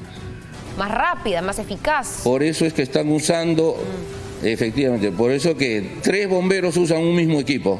Si dividimos las 24 horas del día, van 8 horas, 8 horas, y un equipo lo usan tres bomberos. Ahora, comandante, los familiares de estos dos bomberos que han resultado heridos, ¿han recibido algún tipo de apoyo de parte del Estado, de parte de las autoridades? Mire, ve, eh, los bomberos estamos acá presentes con los familiares, hemos estado con la familia de los dos bomberos, ¿no? Eh, su familia está tranquila, este, indudablemente yo espero tener alguna reunión con el intendente, con el ministro del Interior y ver pues este qué apoyo se le puede dar a estos bomberos, porque ayer conversaba con el papá de, del Águila eh, y su padre me dice que él se ha comprado un automóvil todos los meses tiene que pagar una letra y de repente él va a estar internado un mes, eh, dos meses, no sabemos. Y, y, cómo hago, me dice, ¿no? Entonces tenemos que ver la forma de que el Estado pueda colaborar con los bomberos que están internados porque no van a recibir, si es que no trabajan o no tienen un, un, un seguro, no van a recibir una remuneración, el Estado tendría que asumir de alguna forma todos esos meses que no trabajan y que están internados. Comandante, y precisamente quisiéramos una precisión porque hace un tiempo hubo un evento en el que fallecieron bomberos y se habló de que se iba a adquirir seguros para cada uno de estos efectivos, ya que no se les puede pagar un sueldo, ya que no se les puede dar un reconocimiento económico como merecen, como sí ocurre en otros países, se habló de un seguro. ¿Se realizó esta licitación, compra de seguros para los bomberos? ¿Hubo algo más allá de la promesa? Mi, mire, las compañías de seguro nos consideran a los bomberos como personas con un trabajo de alto riesgo, por lo que somos la primera respuesta. En algún momento tuvimos reuniones con APC, que es la Asociación Peruana de Seguros, para poder ver la forma de comprar una póliza abierta con 100 bomberos, sin nombres, ya que el índice de, de pérdida de vida de los bomberos es muy bajo, muy bajo pero lamentablemente no, nos exigían que teníamos que abrir esta póliza con nombre propio y nosotros no somos mandrake para poder decir qué bombero puede tener un accidente. Y aparte que por el alto riesgo es muy cara la póliza. Yo espero que a raíz de este tema que usted ha tocado podamos sensibilizar a PSEC y ver la forma de que nos creen pues una póliza eh, flotante sin nombres para cuando un bombero sufre un accidente pueda eh, tener ese beneficio. Bien, bien comandante, bien, comandante, muchísimas gracias. El reconocimiento nuevamente para los bomberos. La verdad que escuchar muchas de estas cosas, Sere, nos avergüenza no tener una respuesta concreta, una reacción. Más allá de la emergencia, ha habido este problema con dos bomberos, están siendo bien atendidos. Nuestro reconocimiento de salud está allí, la presidenta colaborando, atenta a lo que va a ocurrir. Pero ¿qué pasa con tantos otros bomberos que necesitan estar protegidos? Es decir, un doble sacrificio, ya y no podría... solamente lo que ocurre cada vez que hay un siniestro. Le agradecemos, Ricardo, al comandante, a ustedes por esta información. Estas cosas podrían evitarse. Eso es una de las cosas más preocupantes, de tener mejores equipos, mayores implementos. Así que vamos a esperar que el Estado no solamente apoye en este caso, sino también en general a nuestro valiente cuerpo de bomberos. Imagínate, si de congresistas a los que no les alcance el sueldo. Imagínate lo que está pasando con los bomberos. Dios 7 de la mañana con 44 minutos. Estamos con la ruta vecinal. Nos vamos, o regresamos más bien a Los Olivos. Vamos. Está estrenando ese distrito nuevo gerente de seguridad. Adolfo, adelante contigo. Adolfo Bolívar. ¿Y qué tal, y qué tal estreno, Sigrid, Pedro? Hoy desde la una de la madrugada, el nuevo gerente de Seguridad Ciudadana, Daniel Urresti, en Los Olivos ha empezado a trabajar clausurando algunos locales que él nos va a explicar por qué se han venido clausurando acá en este mercado de Guandoy, en esta avenida Guandoy, y ahorita está rodeado no solo de comerciantes, sino también de vecinos que se le acercan algunos para felicitarlos y otros para hacerles un reclamo. ¿Qué cosa le dice, señor Restis? Bienvenido de nuevo a 90 Matinal. ¿Qué le dice la gente que trabaja en estos locales? Bien, en principio lo que hemos hecho en mi primer día de trabajo es recuperar un espacio público de 14 manzanas que se encontraban, se encontraban estas manzanas ocupadas por un promedio de 2.000 ambulantes y unos 600 cachineros, que es decir, un mercado de reducidores donde se vendían las cosas robadas. Ahora, si vamos a hablar de mercado, disculpe, si vamos a hablar de mercado, mercado el mercado Guandoy funciona allá. Ahora, ¿esta zona que es? ¿Son de comercio o vivienda? Es residencial, y efectivamente en las viviendas han ido abriendo comercios. Ahora, lo que nosotros no sabemos, porque ha, dicho, ha habido mucho desorden en la gestión anterior, es si tienen o no tienen licencia. Entonces, ellos pueden abrir para que nosotros verifiquemos. Si ellos no tienen licencia, lo que vamos a hacer nosotros es orientarlos sobre cómo obtener esta licencia, cómo hacerse formal. Porque, ¿Estábamos, habían ambulantes? por supuesto, los, los ambulantes no solamente estaban donde estamos, sino ocupaban hasta la mitad de la pista haciendo un cuello de botella acá que originaba mucho, eh, un nudo tremendo y muchos accidentes. Esta es una ruta vecinal y se debe también al llamado, al pedido, al clamor de los vecinos. Vecinos que hoy lo rodean en ese instante que estamos en vivo. ¿Nos permite saber si es que los vecinos tienen algo que decirle? ¿Tiene algo que decirle al señor? No, que, to- que tome claro, este, lo que nosotros pedimos al señor Urresti, el ordenamiento sí, pero con los locales también tiene que apoyarnos también, tomar la licencia, todo. Tiene su local acá. ¿Algo que decirle al señor Urresti que lo tiene acá al frente? Sí, este, para darle a conocer al señor Uresti lo, lo siguiente, ¿no? Que la mayoría de los locales tienen su licencia. Licencia. ¿Usted tiene licencia? Sí, tenemos licencia. No debería haber ningún problema. ¿Podría abrir abierto su tienda? Claro, ahorita todavía no, porque el anterior este, alcalde en sí, los funcionarios vinieron así de sorpresivos y, y clausuraron algunos locales, pusieron multas. El temor es eso. Ahorita la. Ahorita... Tiene temor que le clausure el local, pero si tiene licencia no debería haber ningún temor, ¿no? Cuando ve pequeños defectos, por ejemplo, como si, si uno lo cuelga este, un, un yogur, ya dice, no, este yogur debería estar este, en una congeladora y no debe estar expendiéndose en, la, en el polígono. Sí, entonces ese, esa es una de las razones por que te clausuran el local. Esa, esa es una de las razones por las cuales acá en Los Olivos hemos creado una supergerencia de seguridad ciudadana. Yo tengo, en mi gerencia tengo la sugerencia de fiscalización, defensa civil, tránsito, salubridad. ¿Por qué? Porque en todos los distritos estas gerencias cuando están solas se convierten en mafias y sucede lo que ha dicho el señor. Vienen a hacer la fiscalización, pero no para orientar, para que se arreglen las cosas, sino vienen para Un beneficio. beneficio, para co- ya no te voy a poner, pero págame tanto. Eso, eso se acabó. Eso se acabó. Las cámaras de Nosotros Vamos a ser justos, pero eso sí, acá tienen que ponerse en orden. El que no quiera ponerse en orden, fatal. Justo conversando con algunos vecinos, dice, cuando ya hay un desorden, cuando se arma un caos, vienen los asaltos, los robos, los cogoteos, la utilización de los mototaxis también para robar, no todos, sino que quienes están delinquiendo. ¿Cómo van a operar ustedes eh, en cuanto a ese tipo de delincuencia? Bien, lo que necesitamos nosotros es un depósito municipal. El alcalde ya está haciendo el mismo, él mismo está haciendo ya en este momento eh, eh, la convocatoria y debemos tener un depósito municipal para, con capacidad para unos 400 vehículos dentro de un mes. Ahí vamos a llevar todos los vehículos que están frente a la comisaría y vamos a comenzar a llevar a todos los vehículos que infrinjan la ley, incluyendo las mototaxis. Cámaras de seguridad en Los Olivos, ¿están funcionando? ¿Cuántas hay? ¿Cuántas están operativas? Sí.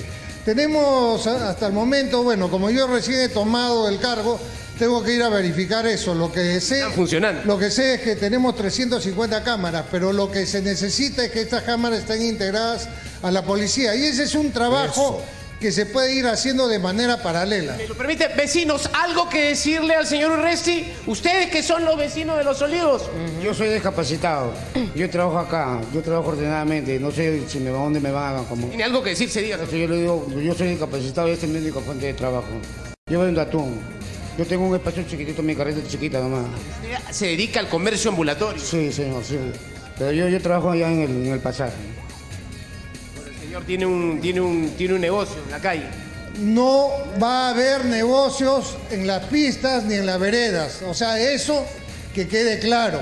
Todos los eh, que hacen comercio ambulatorio, el alcalde ya lo ha dicho, está presta la municipalidad a poder ayudarlos, a convocarlos, a recibirlos, a escucharlos, orientarlos para que busquen espacios privados donde puedan agruparse, pero que se entienda claramente, en Los Olivos se acabó la venta en espacios públicos. No se va a vender ni en las pistas ni en las veredas. Eso ya quedó en el pasado. Este, este bloque está hecho para los vecinos y nace de los vecinos. Si usted vecino tiene algo que decirle a su autoridad, lo tiene frente a frente, por favor háganlo. Es que lo único que quisiera decirle muy bien lo que hace poco decir, el- el- le acabo de escuchar, que muchas veces este, dan una pa- toman algunas medidas este, los inspectores diciendo que esto, que esto, y a veces se presta muchas cosas. Es lo que había aclarado. Y, y lo que, y ahorita justamente por un par de cuchillos que estaba cuchillo con, un- con uno de madera, se han llevado y basta con eso y una caja de madera en un local porque el local Tiene su negocio. el local está su negocio. perdón no el local se abrió momentáneamente pero sin embargo se metieron y encontraron un par de cuchillos ahí de, de un pollero y, y eso fue motivo para clausurar ese local este local ¿Está dentro o, o- o también ocupa parte de la vereda? dentro y tiene licencia de funcionamiento tiene licencia de funcionamiento todo ¿Cuál es su pregunta? ¿Cuál es su pregunta? entonces, hay un abuso ahí previamente. Si, si bien so- estamos de acuerdo con el ordenamiento, la cachinda y muchas cosas, y estamos para apoyarlo. Estamos para apoyar como siempre se ha apoyado, y el doctor Felipe sabe muy bien. Hágale su pregunta al señor Urresti. a costado. Señor Urresti, lo único que yo quisiera que, así como le acaban de decir algunos este, vecinos, que, que nos deje trabajar lo que tiene licencia. Ya, ya ese gorrito del carnicero, esa cosa, ya se solucionará en el camino. Pero, ¿no? O un carnet de sanidad que también se por ordenar del orden. No, o una caja por el momento, ya eso se ordenará. Pero no Va su repago con su no repago. Esto no tiene carnet de. Bueno, miren, quiero que me entiendan todos los vecinos de Los Olivos. Acá van a trabajar en orden, van a cumplir con las normas, tanto de higiene como todas las normas que están y que ya no son por gusto. El que no cumple las normas se le clausura y se acabó. O sea, no hay que eh, por el cuchillito, por esto, por el otro, porque estoy seguro que ha sido por otra cosa. ¿Por qué se ha clausurado? establecimiento comercial porque tiene un giro de mini market, pero se está empleando como un depósito, ¿no?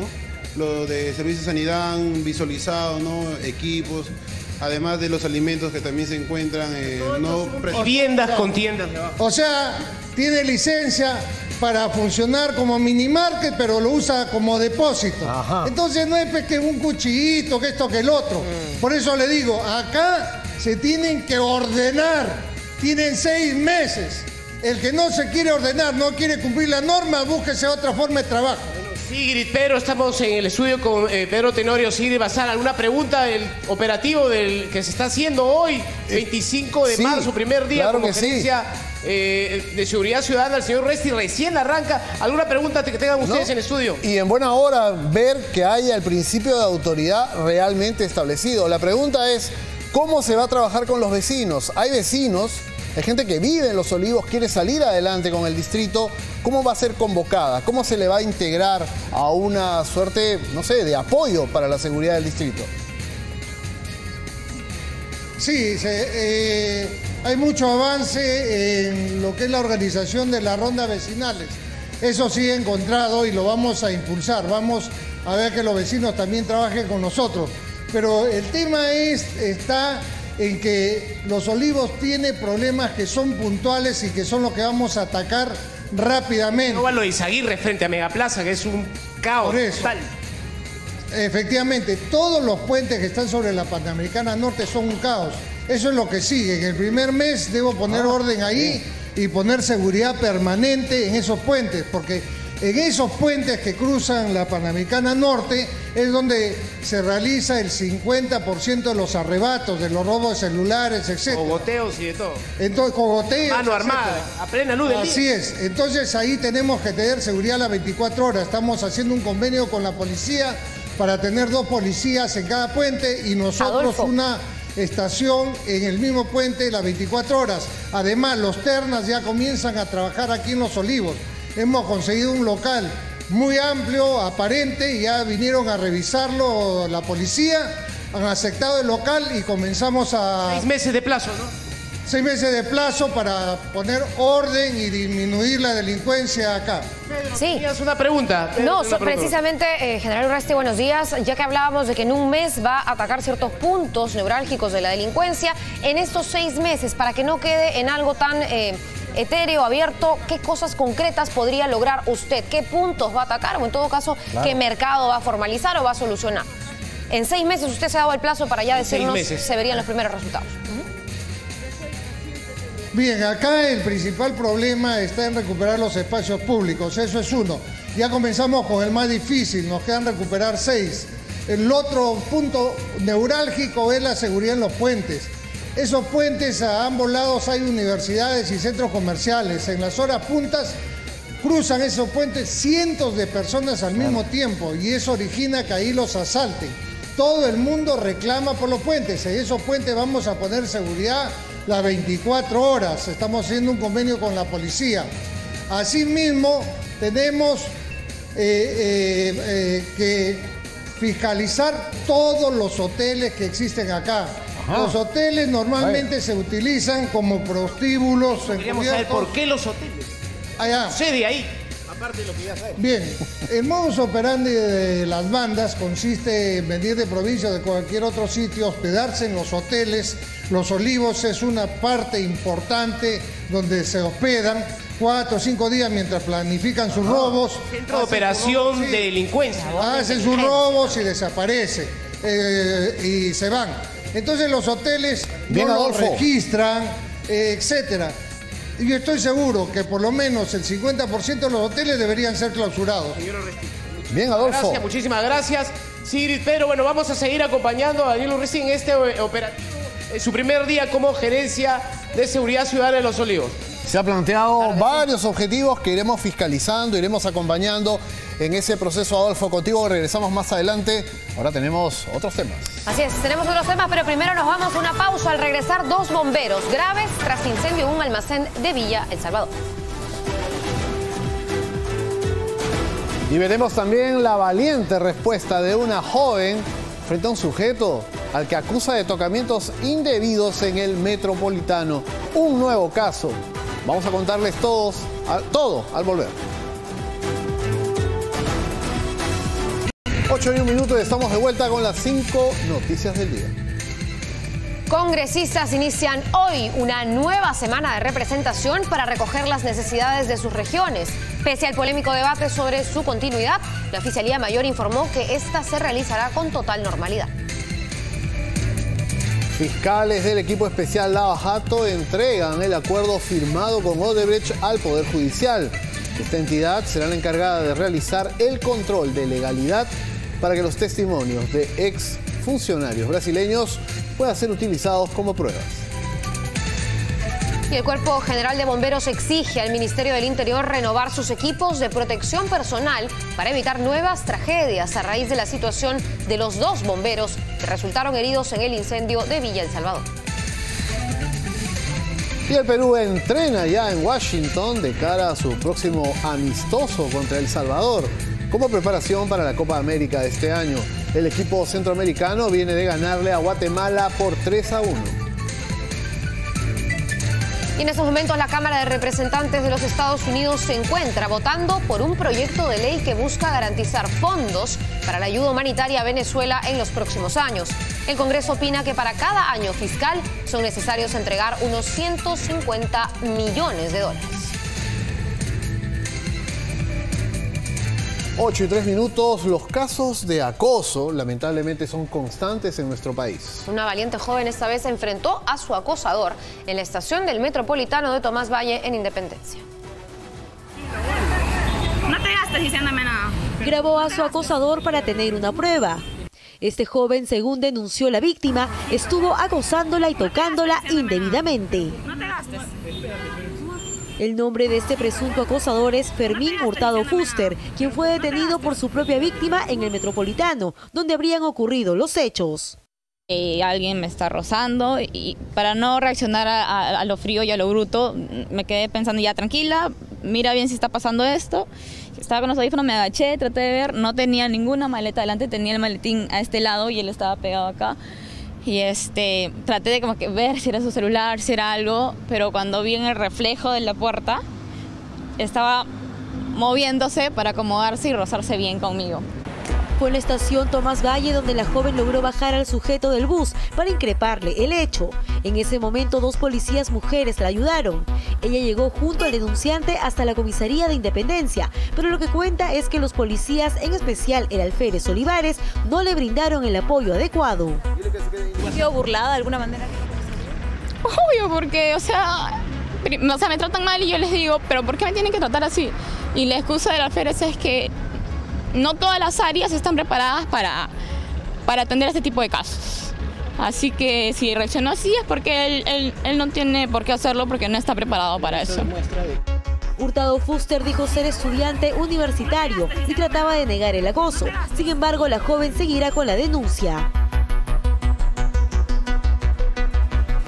Valiente joven, ha hecho, digamos, ha puesto todas las denuncias que correspondan, pero quiere preservar su identidad y por eso hemos protegido su rostro. Y ahora que se está denunciando, ojalá que las autoridades cumplan la ley. Simplemente atender esa denuncia y sancionar al responsable. Nos vamos ahora hasta Magdalena. Los vecinos ahí sufren a diario por los robos al paso e incluso los robacasas. Y hemos visto en Surco, Villa María del Triunfo, Los Olivos, Lince. Ahora acaba de ocurrir en este distrito y vamos a ver las imágenes. Esta señorita pasea a su perro de lo más tranquila mientras sostiene una comunicación telefónica. De pronto, un sujeto camina atrás de ella y en un segundo le arrebata el celular. Este corre y su aliado lo recoge en una moto lineal. Ocurrió el sábado a plena luz del día en el girón Miguel Sotovalle, en el distrito de Magdalena. El delincuente llevaba puesto una casaca de la municipalidad de Punta Hermosa. Por decir, tú estás ingresando con tu vehículo eh, te interceptan con otro vehículo los asaltantes, te ponen arma de, fuego y te asaltan. Para salir a la bodega se quita el reloj, se quita la billetera, se pone 10 soles en el bolsillo y se va a la bodega. Ahora que bajan los alumnos entre Pershing y Quirón Trujillo, les quita, les arranchan el laptop, les arranchan los celulares. Diversas modalidades que la están aplicando en esta zona y todo eso se, tiene que convertir con inteligencia que está a cargo de la Policía Nacional. La semana pasada en ese mismo distrito, en la avenida Juan de Aliaga, robaron computadoras en un instituto de publicidad bajo la modalidad del combazo.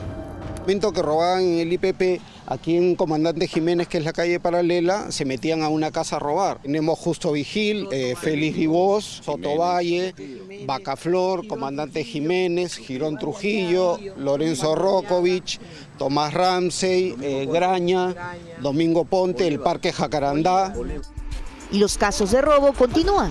En este otro video, captado por una cámara de seguridad, se visualiza a un delincuente armado huyendo en un auto luego de haber robado a un vecino.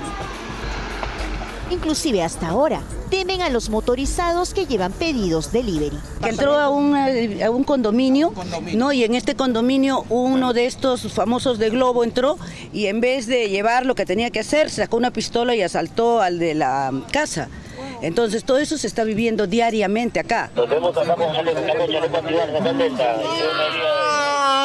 El 11 de marzo, felizmente, la policía logró reducir a un delincuente que llevaba puesto un chaleco antibalas, quien no dejaba de gritar luego de ser herido por los efectivos, justo cuando estaba asaltando a un empresario. Nosotros como vecinos hemos cumplido al 100% con nuestra función. Tenemos alarmas de pánico. Han instalado hasta alarmas de pánico. Alarmas de pánico. Cada calle tiene una alarma de pánico diferente. Entonces cuando hay algún hecho comunicamos. ¿De qué te puede servir si no has visto un serenajo en todo el rato que estamos hablando. Policía, ni patrullaje. No policía. Pese a que los vecinos de la urbanización San Felipe de Magdalena se han organizado colocando cámaras de seguridad, alarmas y además tienen un WhatsApp de emergencia con contacto directo con el comisario, sostienen que el patrullaje de serenazgo y policial es escaso y los constantes robos lo reafirman. ¿Qué está pasando en Magdalena? ¿Hasta cuándo van a sentirse expuestos a los delincuentes? Es lo que los vecinos preguntan a sus autoridades sin obtener respuesta. Pero no solo es Magdalena. No solo es Magdalena, esta vez cámaras de seguridad han captado el asalto a un adolescente a plena luz del día en la zona del sector 9 en Surco. Los vecinos aseguran que están cansados de los robos al paso y las grabaciones así lo demuestran. 9 y 18 de la mañana del último sábado, la calle de Las Brisas en Surco luce completamente desolada. De pronto, un adolescente que pasaba por el lugar es interceptado por una mototaxi. Se abre la puerta y un sujeto de polo blanco amenaza al menor con un arma y le pide que le entregue sus cosas. Aterrado el adolescente sin poner resistencia le da su celular y su mochila. Los delincuentes huyen rápidamente con rumbo desconocido.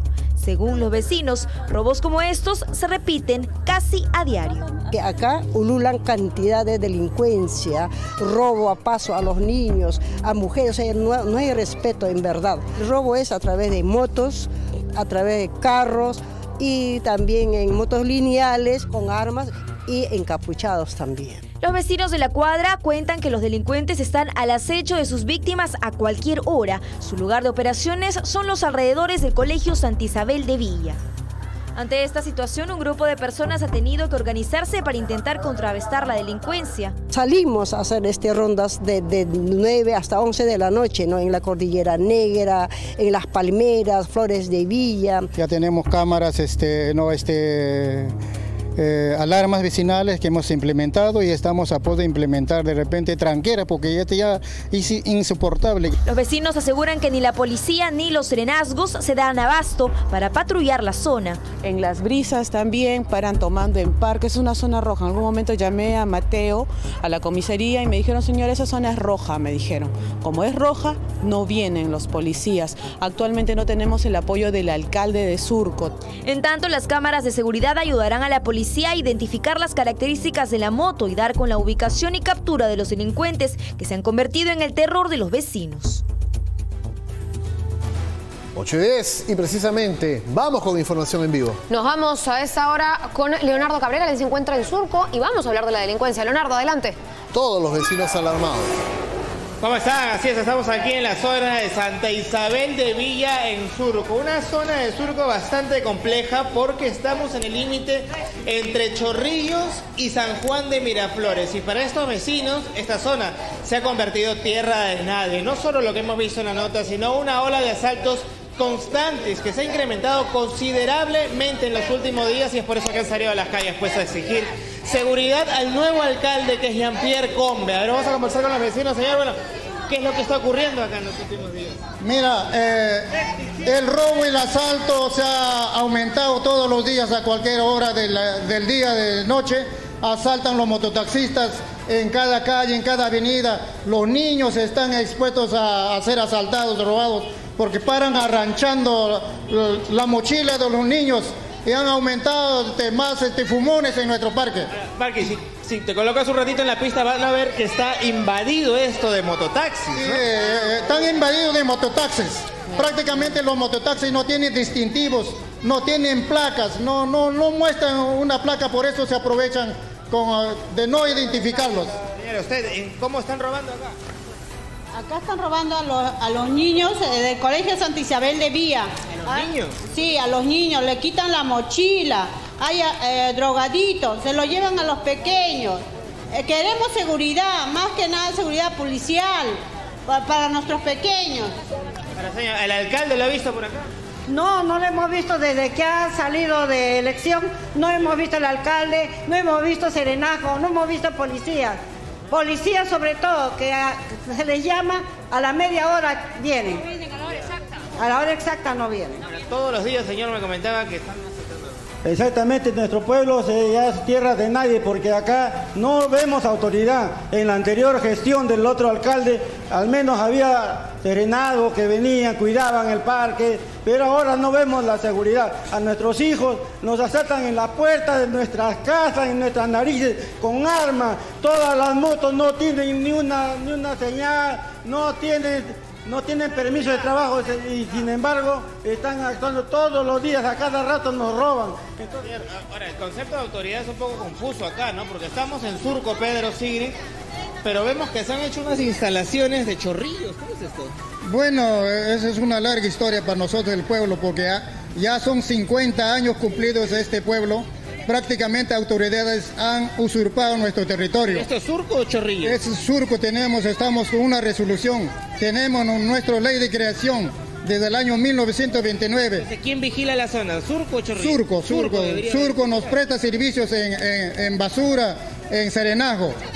Y señora, bueno, ¿qué le pediría al alcalde? ¿Lo conoce el alcalde? Que, que por favor se haga presente. Estamos hartas de la delincuencia. No solamente esperan la noche. Desde las 8 de la mañana a mí me han robado dos veces. Dos veces, 8 de la mañana, empiezan a robar, entran con pistola. Tenemos nuestros hijos ahí. Lo primero que hacen es apuntar Leonardo. a nuestros hijos para que nos dejen, nos puedan robar a nosotros. Y no se puede, estamos hartas. ¿Cuándo? Si nosotros tomamos la justicia con nuestra propia mano, viene la policía y dice, ¿cómo pueden hacer eso? ¿Y qué hacemos entonces si no hacen nada? ¿Qué hacemos?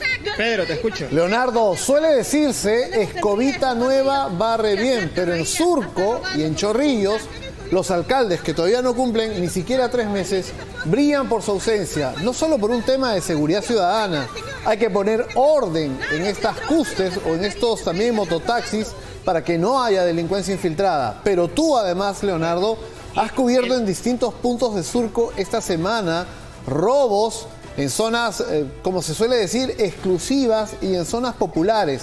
Danos un recuento, por favor, de lo que ha ocurrido con asaltos pistola en mano contra vecinos de Surco. Perdón, y el tema de la limpieza, la- aquí la- la- los vecinos también me lo comentan rapidito. Esto es Surco, ahí bien grande dice Surco. Mira. Miren cómo está el parque, el parque de, de Santa Isabel de Villa. Es terrible, la verdad, lo que está ocurriendo en esta zona de Surco. Y como ustedes han visto en la nota, están robando, asaltando, perdón, a niños y jóvenes que, bueno, llegan de estudiar. A las madres les están apuntando con sus armas, apuntan con sus armas a los niños para que las mamás finalmente se dejen. Y esto es terrible, señora, porque prácticamente apuntan a los niños para que ustedes, bueno, levanten la mano nomás. Acá es demasiado y es el colmo, ¿por qué? Porque en los pasajes, en los colegios ya no respetan nada, sobre todo me da pena que los niños no tienen seguridad porque con una, mo- un- como te encañonan, la botan y ya, o sea, ya no tienen seguridad de nada. Este parque suena inmundicia, Está el parque, está, es que estamos, estamos entre Chorrillos y Surco y no puede ser. Acá que Chorrillos, y no, no puedes, acá tenemos que trabajar para la gente del pueblo, sobre todo necesitamos seguridad. Miren, yo no es que uno no quiera echar culpa a gente extranjera, pero ya estamos cansados también porque no puede ser que lo que nos ganamos con el sudor en la frente, todos, sobre todo nos roben y estamos hartos. ¿Qué le pediría al alcalde? Entonces, estamos seguros que algún representante, Pedro Sigre, de la municipalidad, si no es el alcalde, nos está viendo. ¿Qué le pediría, señora? Una, esa cámara de seguridad que está allá, que por favor lo habilite. Ah, no funciona. No funciona, nos han puesto por las santas puras. Ya. Otra, que también queremos que por favor haga siempre, acá que se venga. ¿no? ¿Quién conoce al señor? Yo no lo conozco. ¿Quién lo que Señor, alcalde. Cuando se iba a lanzar, de ahí ya no apareció ni más. No apareció más. ¿A las elecciones? Para las elecciones nomás. Y la verdad que a veces nosotros pasamos con nuestros niños al mediodía y están fumando ahí, en los postes están fumando. Este, viene la seguridad, les dice, pero no se retiran. Bien, entonces Pedro. Sigre ya lo sabe el alcalde Jean-Pierre Combe. Santa Isabel de Villa en Surco, ojo, no es Chorrillos, es Surco. Así que los parques en total abandono y sobre todo la inseguridad ciudadana que ha incrementado en los últimos días. Pedro Sigre. Hay que hacer entonces eh, énfasis en eso, Leonardo, no solamente pedirle a las autoridades de Surco, sabemos que esto limita con Chorrillos y con San Juan de Miraflores, pedirle a todas las municipalidades que se pongan las pilas, que la basura no puede seguir siendo un problema que arrastremos desde hace varias gestiones. Eso de la no reelección le da la oportunidad a nuevos rostros, a nuevas autoridades de hacer las cosas como no se han hecho hasta ahora y de buena manera. Y Gracias vamos a insistir, además, sí, vamos a estar viendo todas las semanas, Leonardo, escuchando el clamor de los vecinos.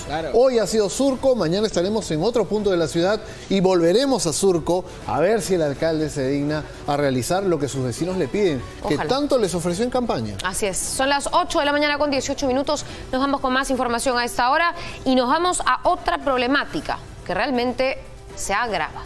Y es vamos terrible. a hablar de los más de 100.000 taxis colectivos informales que siguen invadiendo las pistas del Parecen una solución a la mano, pero en realidad encierran graves problemas para la ciudad. Veamos nuestro informe especial. Vamos a conocer detalles de esta problemática.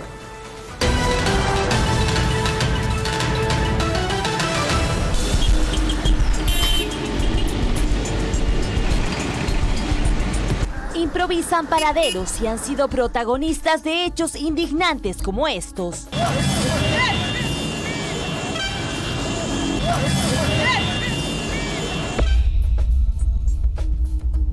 Sin embargo, continúan operando en la informalidad.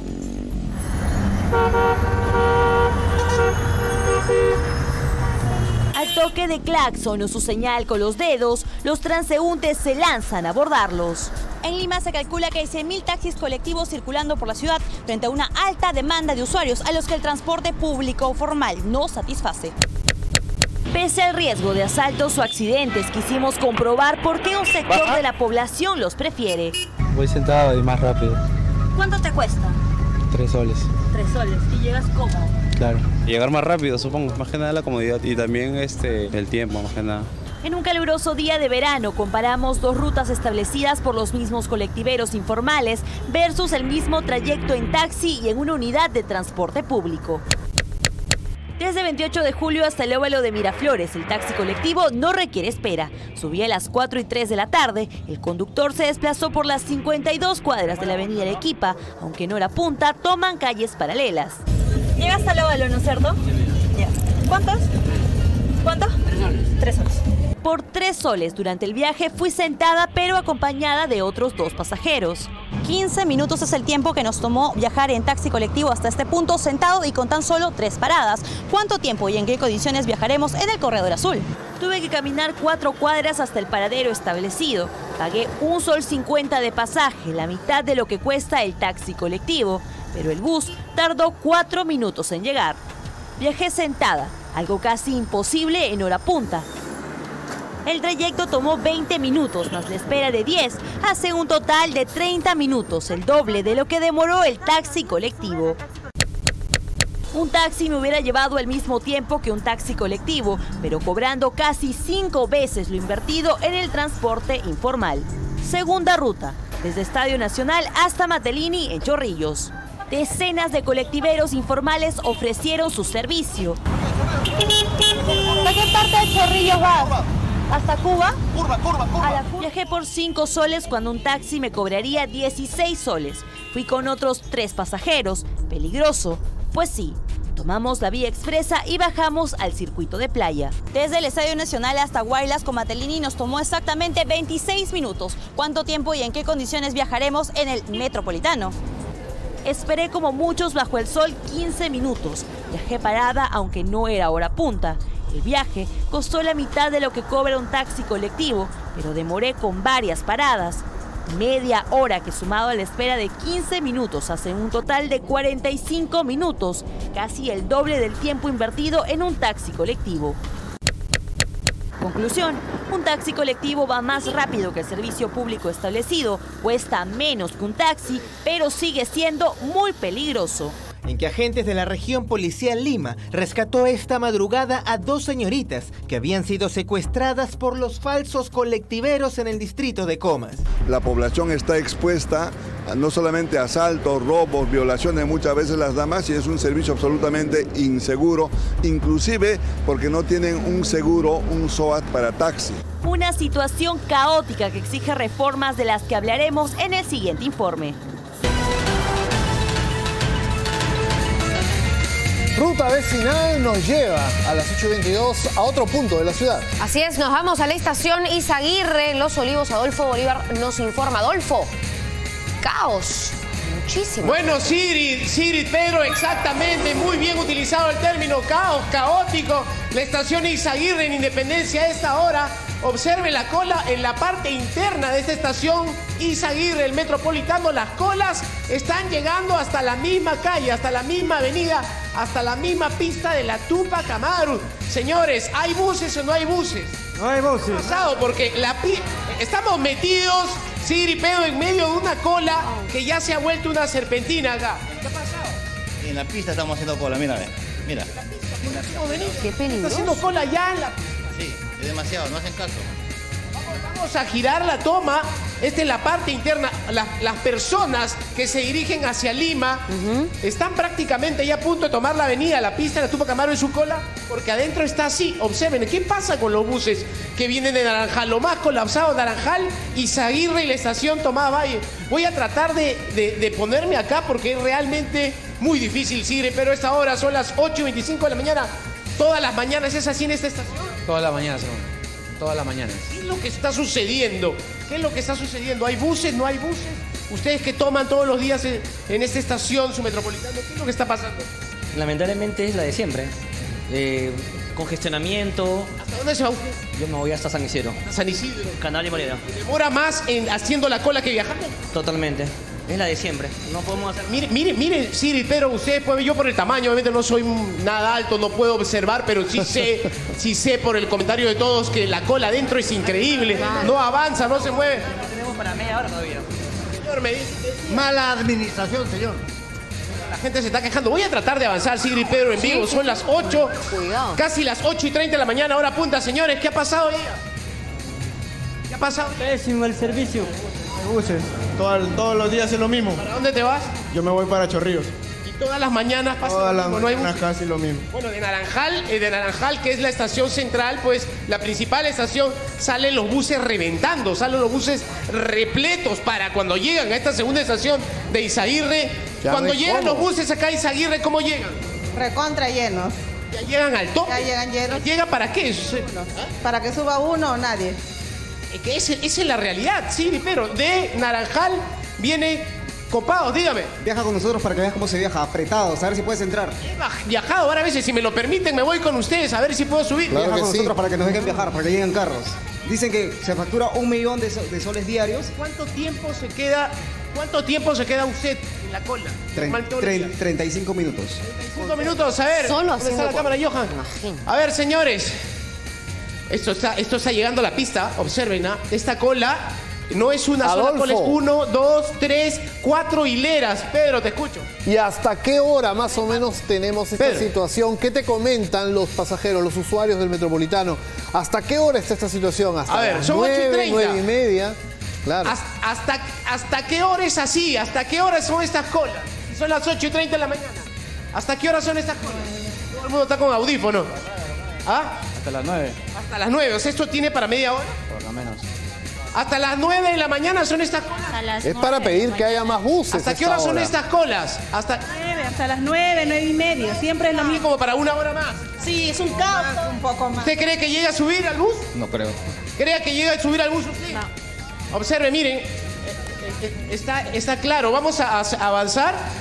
¿Cuántas hileras se han formado de cola? Uno, dos, tres, cuatro. Caos. Es un caos. Todos los días. ¿A dónde se use? Hasta el centro cívico. ¿Llega a subir al bus o no? No. Viene de Adolfo. Repleto. Son las tres estaciones colapsadas, Sigrid Pedro, Tomás Valle, Izaguirre y la primera, la de Naranjal. Llegan acá a la segunda, pues ya repleto los buses. Y estas personas adentro, está hay un montón de gente, obviamente, por eso las colas llegan así afuera. Hasta la misma Tupac Amaru, señora, ¿qué pasó? No estoy recién estoy llegando y miren lo, que encontramos. ¿A dónde se va usted? Arangamos. ¿A qué hora tiene que llegar a Angamos? A las nueve. Se va a quedar acá en la cola. Mire, estas personas se quedan acá en la Sí, cola. son 31 minutos de Pero te cola. escucho. Lo que te queríamos indicar, Adolfo, es que mientras realizas el recorrido, reiterar para nuestros televidentes, tenemos imágenes de apoyo que nos han enviado los propios usuarios del Metropolitano. Las tenemos en una pantalla inferior. Ahí vemos cómo las personas tienen incluso que utilizar, lo que está mal, la vía exclusiva del Metropolitano. Está mal porque es peligroso. No deberían utilizar esa parte de la calzada, pero ante el caos, ante la necesidad de abordar un bus, vemos que hay bastante desorden. Y no es solo hoy, Adolfo, contigo estábamos también la semana pasada viendo la situación, la falta de buses. Mira lo peligroso que es, Adolfo, finalmente, ¿no? Para la gente. Efectivamente, y es lo que tú decías, las personas llegan a utilizar ya casi la pista de esta avenida Tupac Amaru, de esta estación Izaguirre, y esto es altamente peligroso. Claro, la desesperación por tratar de llegar al trabajo, a su centro de estudio, a la hora, y acá se han formado, como le decimos, cuatro columnas de cola que ya llegan a la misma calle, a la misma avenida, y obviamente sigue llegando más gente a estación Izaguirre con la intención de viajar. Señor Muñoz que ha dicho que va a arreglar esto, todavía no lo arregla. Es así, todas las mañanas es así. Toda la mañana, hasta las 9 de la mañana. Arreglo ya, esto no tiene arreglo. Muy bien, Adolfo. Terrible. Bueno, eh, Pedro Sigrid, esta es la situación en la estación Isaguirre del Metropolitano. Es un caos total y una cola que llega prácticamente a la misma pista, a la misma avenida. Mira, mucha gente ya Cosa está de toda la mañana. ¿Qué tal? Muy buenos días. Miren, estas chicas son unas campeonas. Tienen medalla de oro. Es la selección de vóley unificada de Olimpiadas Especiales. Ellas son de Jaén y han viajado a Emiratos Árabes. Imagínense, han participado de los Juegos Mundiales de Olimpiadas Especiales Abu Dhabi de este año. Han llegado solamente hace, hace tres días, así que están emocionadas. Les pido un aplauso para estas chicas. Porque se han llevado de verdad ¡Bravo! una victoria muy grande que les ha costado varios días, varias semanas, incluso prepararse con mucho esfuerzo para obtener este resultado. Estamos con Chana, que es la capitana aquí del equipo, ha venido de Jaén. Bueno, ya, ya va a regresar dentro de poco, así que la deben estar esperando ahí con una fiesta, la familia, los Puede amigos, ser. los paisanos. ¿Cómo estás? ¿Qué tal esta experiencia en Emiratos Árabes? Eh, eh, lamentablemente ha sido bien bonito. Allá todo, mis compañeras están alegres. eh. Muéstranos tu medalla, a ver qué dice por allí. Y pesa, pesa, pesa. Ah, miren, voy, voy a hacer aquí el, el- el- el esfuerzo de agarrarlo. Pesa bastante, ¿ah? Muy- ¿Cuánto tiempo se han preparado? para obtener esa victoria? Este, de lunes a viernes. Todos los días, Sí, jugando, to- todo el todos día. los días, todos los días. Vamos a conocerlos un poquito más. ¿Quiénes son mamás acá? A ver, mamás, mamás, mamacitas, mamacitas todas. bueno, son estudiantes, son mamás, son deportistas. Y ellas, bueno, como les decía, han tenido mucha preparación. Estamos con Pamela, que es la directora ejecutiva de las Olimpiadas Especiales y también es jefa de la delegación en esta oportunidad porque ya han ganado en dos oportunidades medalla de oro, en California en el 2015 y ahora en Emiratos Árabes en, en el 2019. ¿Cuál es la condición de estas chicas? Pamela. ¿Cómo están? Buenos días. Nosotros somos eh, Olimpiadas Especiales Perú, trabajamos con personas con discapacidad intelectual y como bien dices, este equipo fue campeón en el 2015 cuando fueron los Juegos Mundiales en Los Ángeles y ahora que se realizaron en Abu Dhabi, eh, a esta última semana acabamos de llegar. ¿Cómo ha sido, eh, digamos, el- la ayuda que se les ha brindado? De repente, ¿ustedes tienen ayuda del Estado? ¿Tienen ayudas de empresa? Nosotros trabajamos bastante con empresas privadas, ellos son aliados ya permanentes hace varios años y con ellos hemos logrado verdaderamente hacer nuestros juegos nacionales, poder comprar los boletos aéreos para llevar a toda la delegación a Abu Dhabi, ahora que hemos sido 30 personas. Y el Estado lo que nos está apoyando es con infraestructura y sabemos que también vamos a tener apertura para tener otras alianzas con ellos. ¿no? Además del vóley, ¿qué otras disciplinas han llevado hasta allá? Llevamos una delegación con cuatro deportes que ha ido atletismo, natación, gimnasia rítmica y vóley. Ahora, ¿qué es lo que necesitan en adelante? Porque se vienen más Juegos Mundiales. Sí, mira, nosotros ya cerramos el ciclo olímpico, que es tal cual se llama en el deporte regular. Ya se entregó la bandera para Berlín 2023, que es el próximo trabajo que nosotros tenemos que empezar a hacer. Pero como te decía, Olimpiadas Especiales no solamente hace deporte, porque para llegar al deporte nosotros necesitamos tener gente con salud, gente que vaya a, desarrollarse en la parte educativa y más adelante también conseguirles trabajo, empoderándolos y dándoles habilidades para que ellos mismos sean independientes. Entonces lo que tenemos que trabajar es todo un plan de mediano y largo plazo para poder desarrollar todo lo que hacemos en Olimpiadas. Las chicas están mostrando a la cámara unos tatuajes en henna que se han hecho. Vamos a acercarnos un poco. Cuéntanos un poco de esa experiencia. Lo que pasa es que parte de algunas actividades que tuvimos eh, nos llevaron a hacer unas visitas a, las- a la ciudad dentro de Dubái y Abu Dhabi de los lugares eh, culturales, en las mezquitas y eh, nos tatuaron eh, unas chicas, porque es muy común allá con henna, te tatúan las manos o los brazos completos y súper divertido porque al final duran dos semanas y ellas están, agarran la medalla y te das cuenta que tienen ahí los tatuajes en las manos. Son temporales. Con Karina también. Karina es una de las de las seleccionadas que tiene ya buen tiempo aquí en ese en este equipo, en este grupo. ¿Cómo ha sido la experiencia por allá? Cuéntanos. Bueno, una experiencia súper distinta a la de Los Ángeles, mm, súper este, emocionada vivirla. Sí, de verdad que la cuenta que sea en competencia de edificios, súper grande, de verdad. Muy bella, muy bella. Las- De tanto jugar, Karina también se ha lesionado en el último partido que tuvieron. eh, eh, ganaron dos sets contra uno a Rusia, ¿no? Sí, dos es contra uno y al- lamentablemente pues en los 11 puntos donde me, me lesioné y ahora espero recuperarme pronto. Lourdes. Sí. Esta, esta, pues, es- esta ¿Jugará Lourdes también? Sí, sí. Nos pregunta acá, estamos con Checho y nos preguntamos si tú también te animarás a jugar, si juegas, no Juega juegas. vóley, fútbol, a ver qué, qué deporte puede jugar Ahí, Lourdes. a ver, un poquito. Claro. Chicas, voy a jugar con ustedes, pero por favor no me den mates en la cara porque ah, no, no soy tan buena recepcionando. Voy a pasarte mi micro, a ver, o a, a- a ti, Karina, ya tú vas contando, vas narrando. acá. A ver, vamos a ver, Lourdes. El uno al uno. ¿ah? ahí. Enida, pase, a ver, vamos. Pati. Ah, sí. Karina. ¡Eh, Sandra! ¡Bravo, bravo! Checho, por favor, no favor. Lourdes, el mate me parece que sale un poquito abajo, pero el- para levantar me parece que anda bien Lourdes. ¿ah? Claro. Bueno, me- mejor que Siri Bazán, me imagino que... Oye, ¿qué pasa, Checho? Muchísimas gracias, Lourdes, y felicitaciones a estas campeonas que nos dan una, un motivo más de orgullo, Eso. realmente sobreponiéndose a tantos problemas, pero con apoyo de empresas privadas que ojalá Muy se bien. sumen, porque estas campeonas necesitan Eso es lo que necesita, ¿no? competir, viajar y traer más medallas de oro. A todas, Nuestras Lourdes. campeonas. Gracias, Lourdes Bien. Tupac Yupaki, por este enlace, siempre recordando que eh, Eh, en tenemos a tanta gente Exactamente. En Argentina también se está llevando el campeonato de playa y el equipo fue el equipo eh, de playa de, de Perú también está ganando varias eh, medallas. Que eso lo vamos a hacer, lo vamos a realizar Una ahora a la nota, tarde. claro. Ahora a la tarde y a la noche Ahora. porque están ganando. Ojo que ganar allá en Te Buenos Aires es complicado. Debe ser bravo, los argentinos son bravos, ¿sí o no? No, pero eh, nosotros tenemos la Pesados, playa. pesados, son argentinos- ¿Te pesados. parece Vamos, si Córdoba, vemos papá. qué tan bravos Vamos son? con otro campeón. Porque hay otro campeón, que es el mismo Checho. que vamos ¿qué a ver pasó? un pedacito, No. un pedacito Foco, ¿qué- de El cómo rey del sillón rojo. campeonazo en el sillón rojo. A ver. Vamos a ver la participación de Checho Ibarra en el valor de la verdad. Cuando te dijeron que jugarías en Perú, ¿sabías que era otro país? No.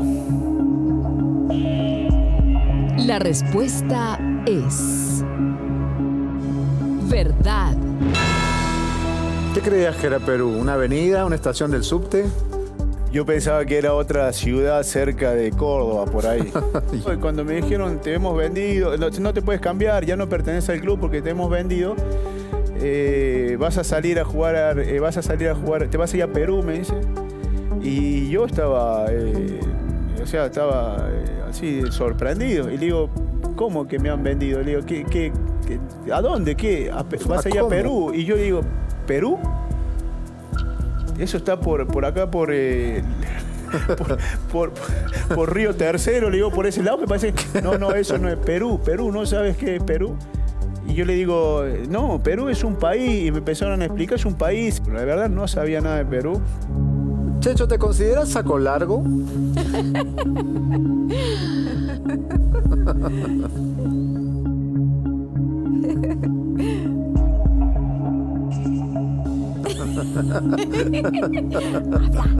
Habla. Sí, sí, sí. La respuesta es verdad. Bueno, dieron la impresión de que eres Poquito, fe- poquito. felizmente saco largo, ¿no? Porque nunca, nunca he visto a nadie asumirlo con tanta alegría. Todo tiene una explicación, por A supuesto. Me gusta estar con ella, me gusta estar ahí. Y los permisos sí tienen razón. Eh, cuando me, pre- me ponen, me, pre- me preguntan si puede salir, digo, pregúntale a, pregúntale a la de bigote, le digo, o sea, le hago así, no, pregúntale a la de bigote, pregúntale a tu mamá si te deja salir, ¿no? ¿Estudiabas de noche porque tenías que trabajar? Sí. La respuesta es verdad. ¿En qué trabajabas estando en el colegio? En todo lo que, lo que me salía. Por ejemplo, En una panadería trabajé, trabajaba en, de una panadería eh, las tardes, sobre todo cuando era Navidad, por, porque nosotros nos eh, contrataban para embolsar eh, pan dulce, o sea, Ujú. panetón, que son acá, ¿no? He trabajado en fábrica de caramelo, eh, haciendo, eh, o sea, me, me- me enseñaron a, a hacer la masa y ahí eh, haciendo la masa de caramelo. Eh, realmente has sido mil oficios, ¿no? Sí, sí. ¿Te ilusionaste en jugar por Perú cuando hablaste con Marcarián? Sí.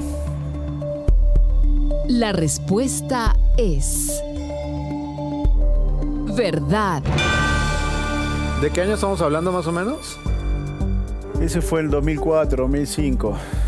eh, yo estaba en Cienciano del Cusco y yo hablé con, con Marcarian en ese entonces, pues, ¿no? Eh, me dice, cada, vez que te enfrento a ti me haces goles y todo eso. Y yo le, dije, bueno, cualquier cosa, acá estoy. Y yo ya estaba nacionalizado. Y cuando yo me nacionalizo, uno de los, eh, de los sueños que yo tenía era jugar por la selección peruana. Quería eh, darle a la selección los goles que yo siempre hacía por todo lo que me dio el Perú. A mí el Perú me dio muchísimo. ¿Darías la vida por tu esposa?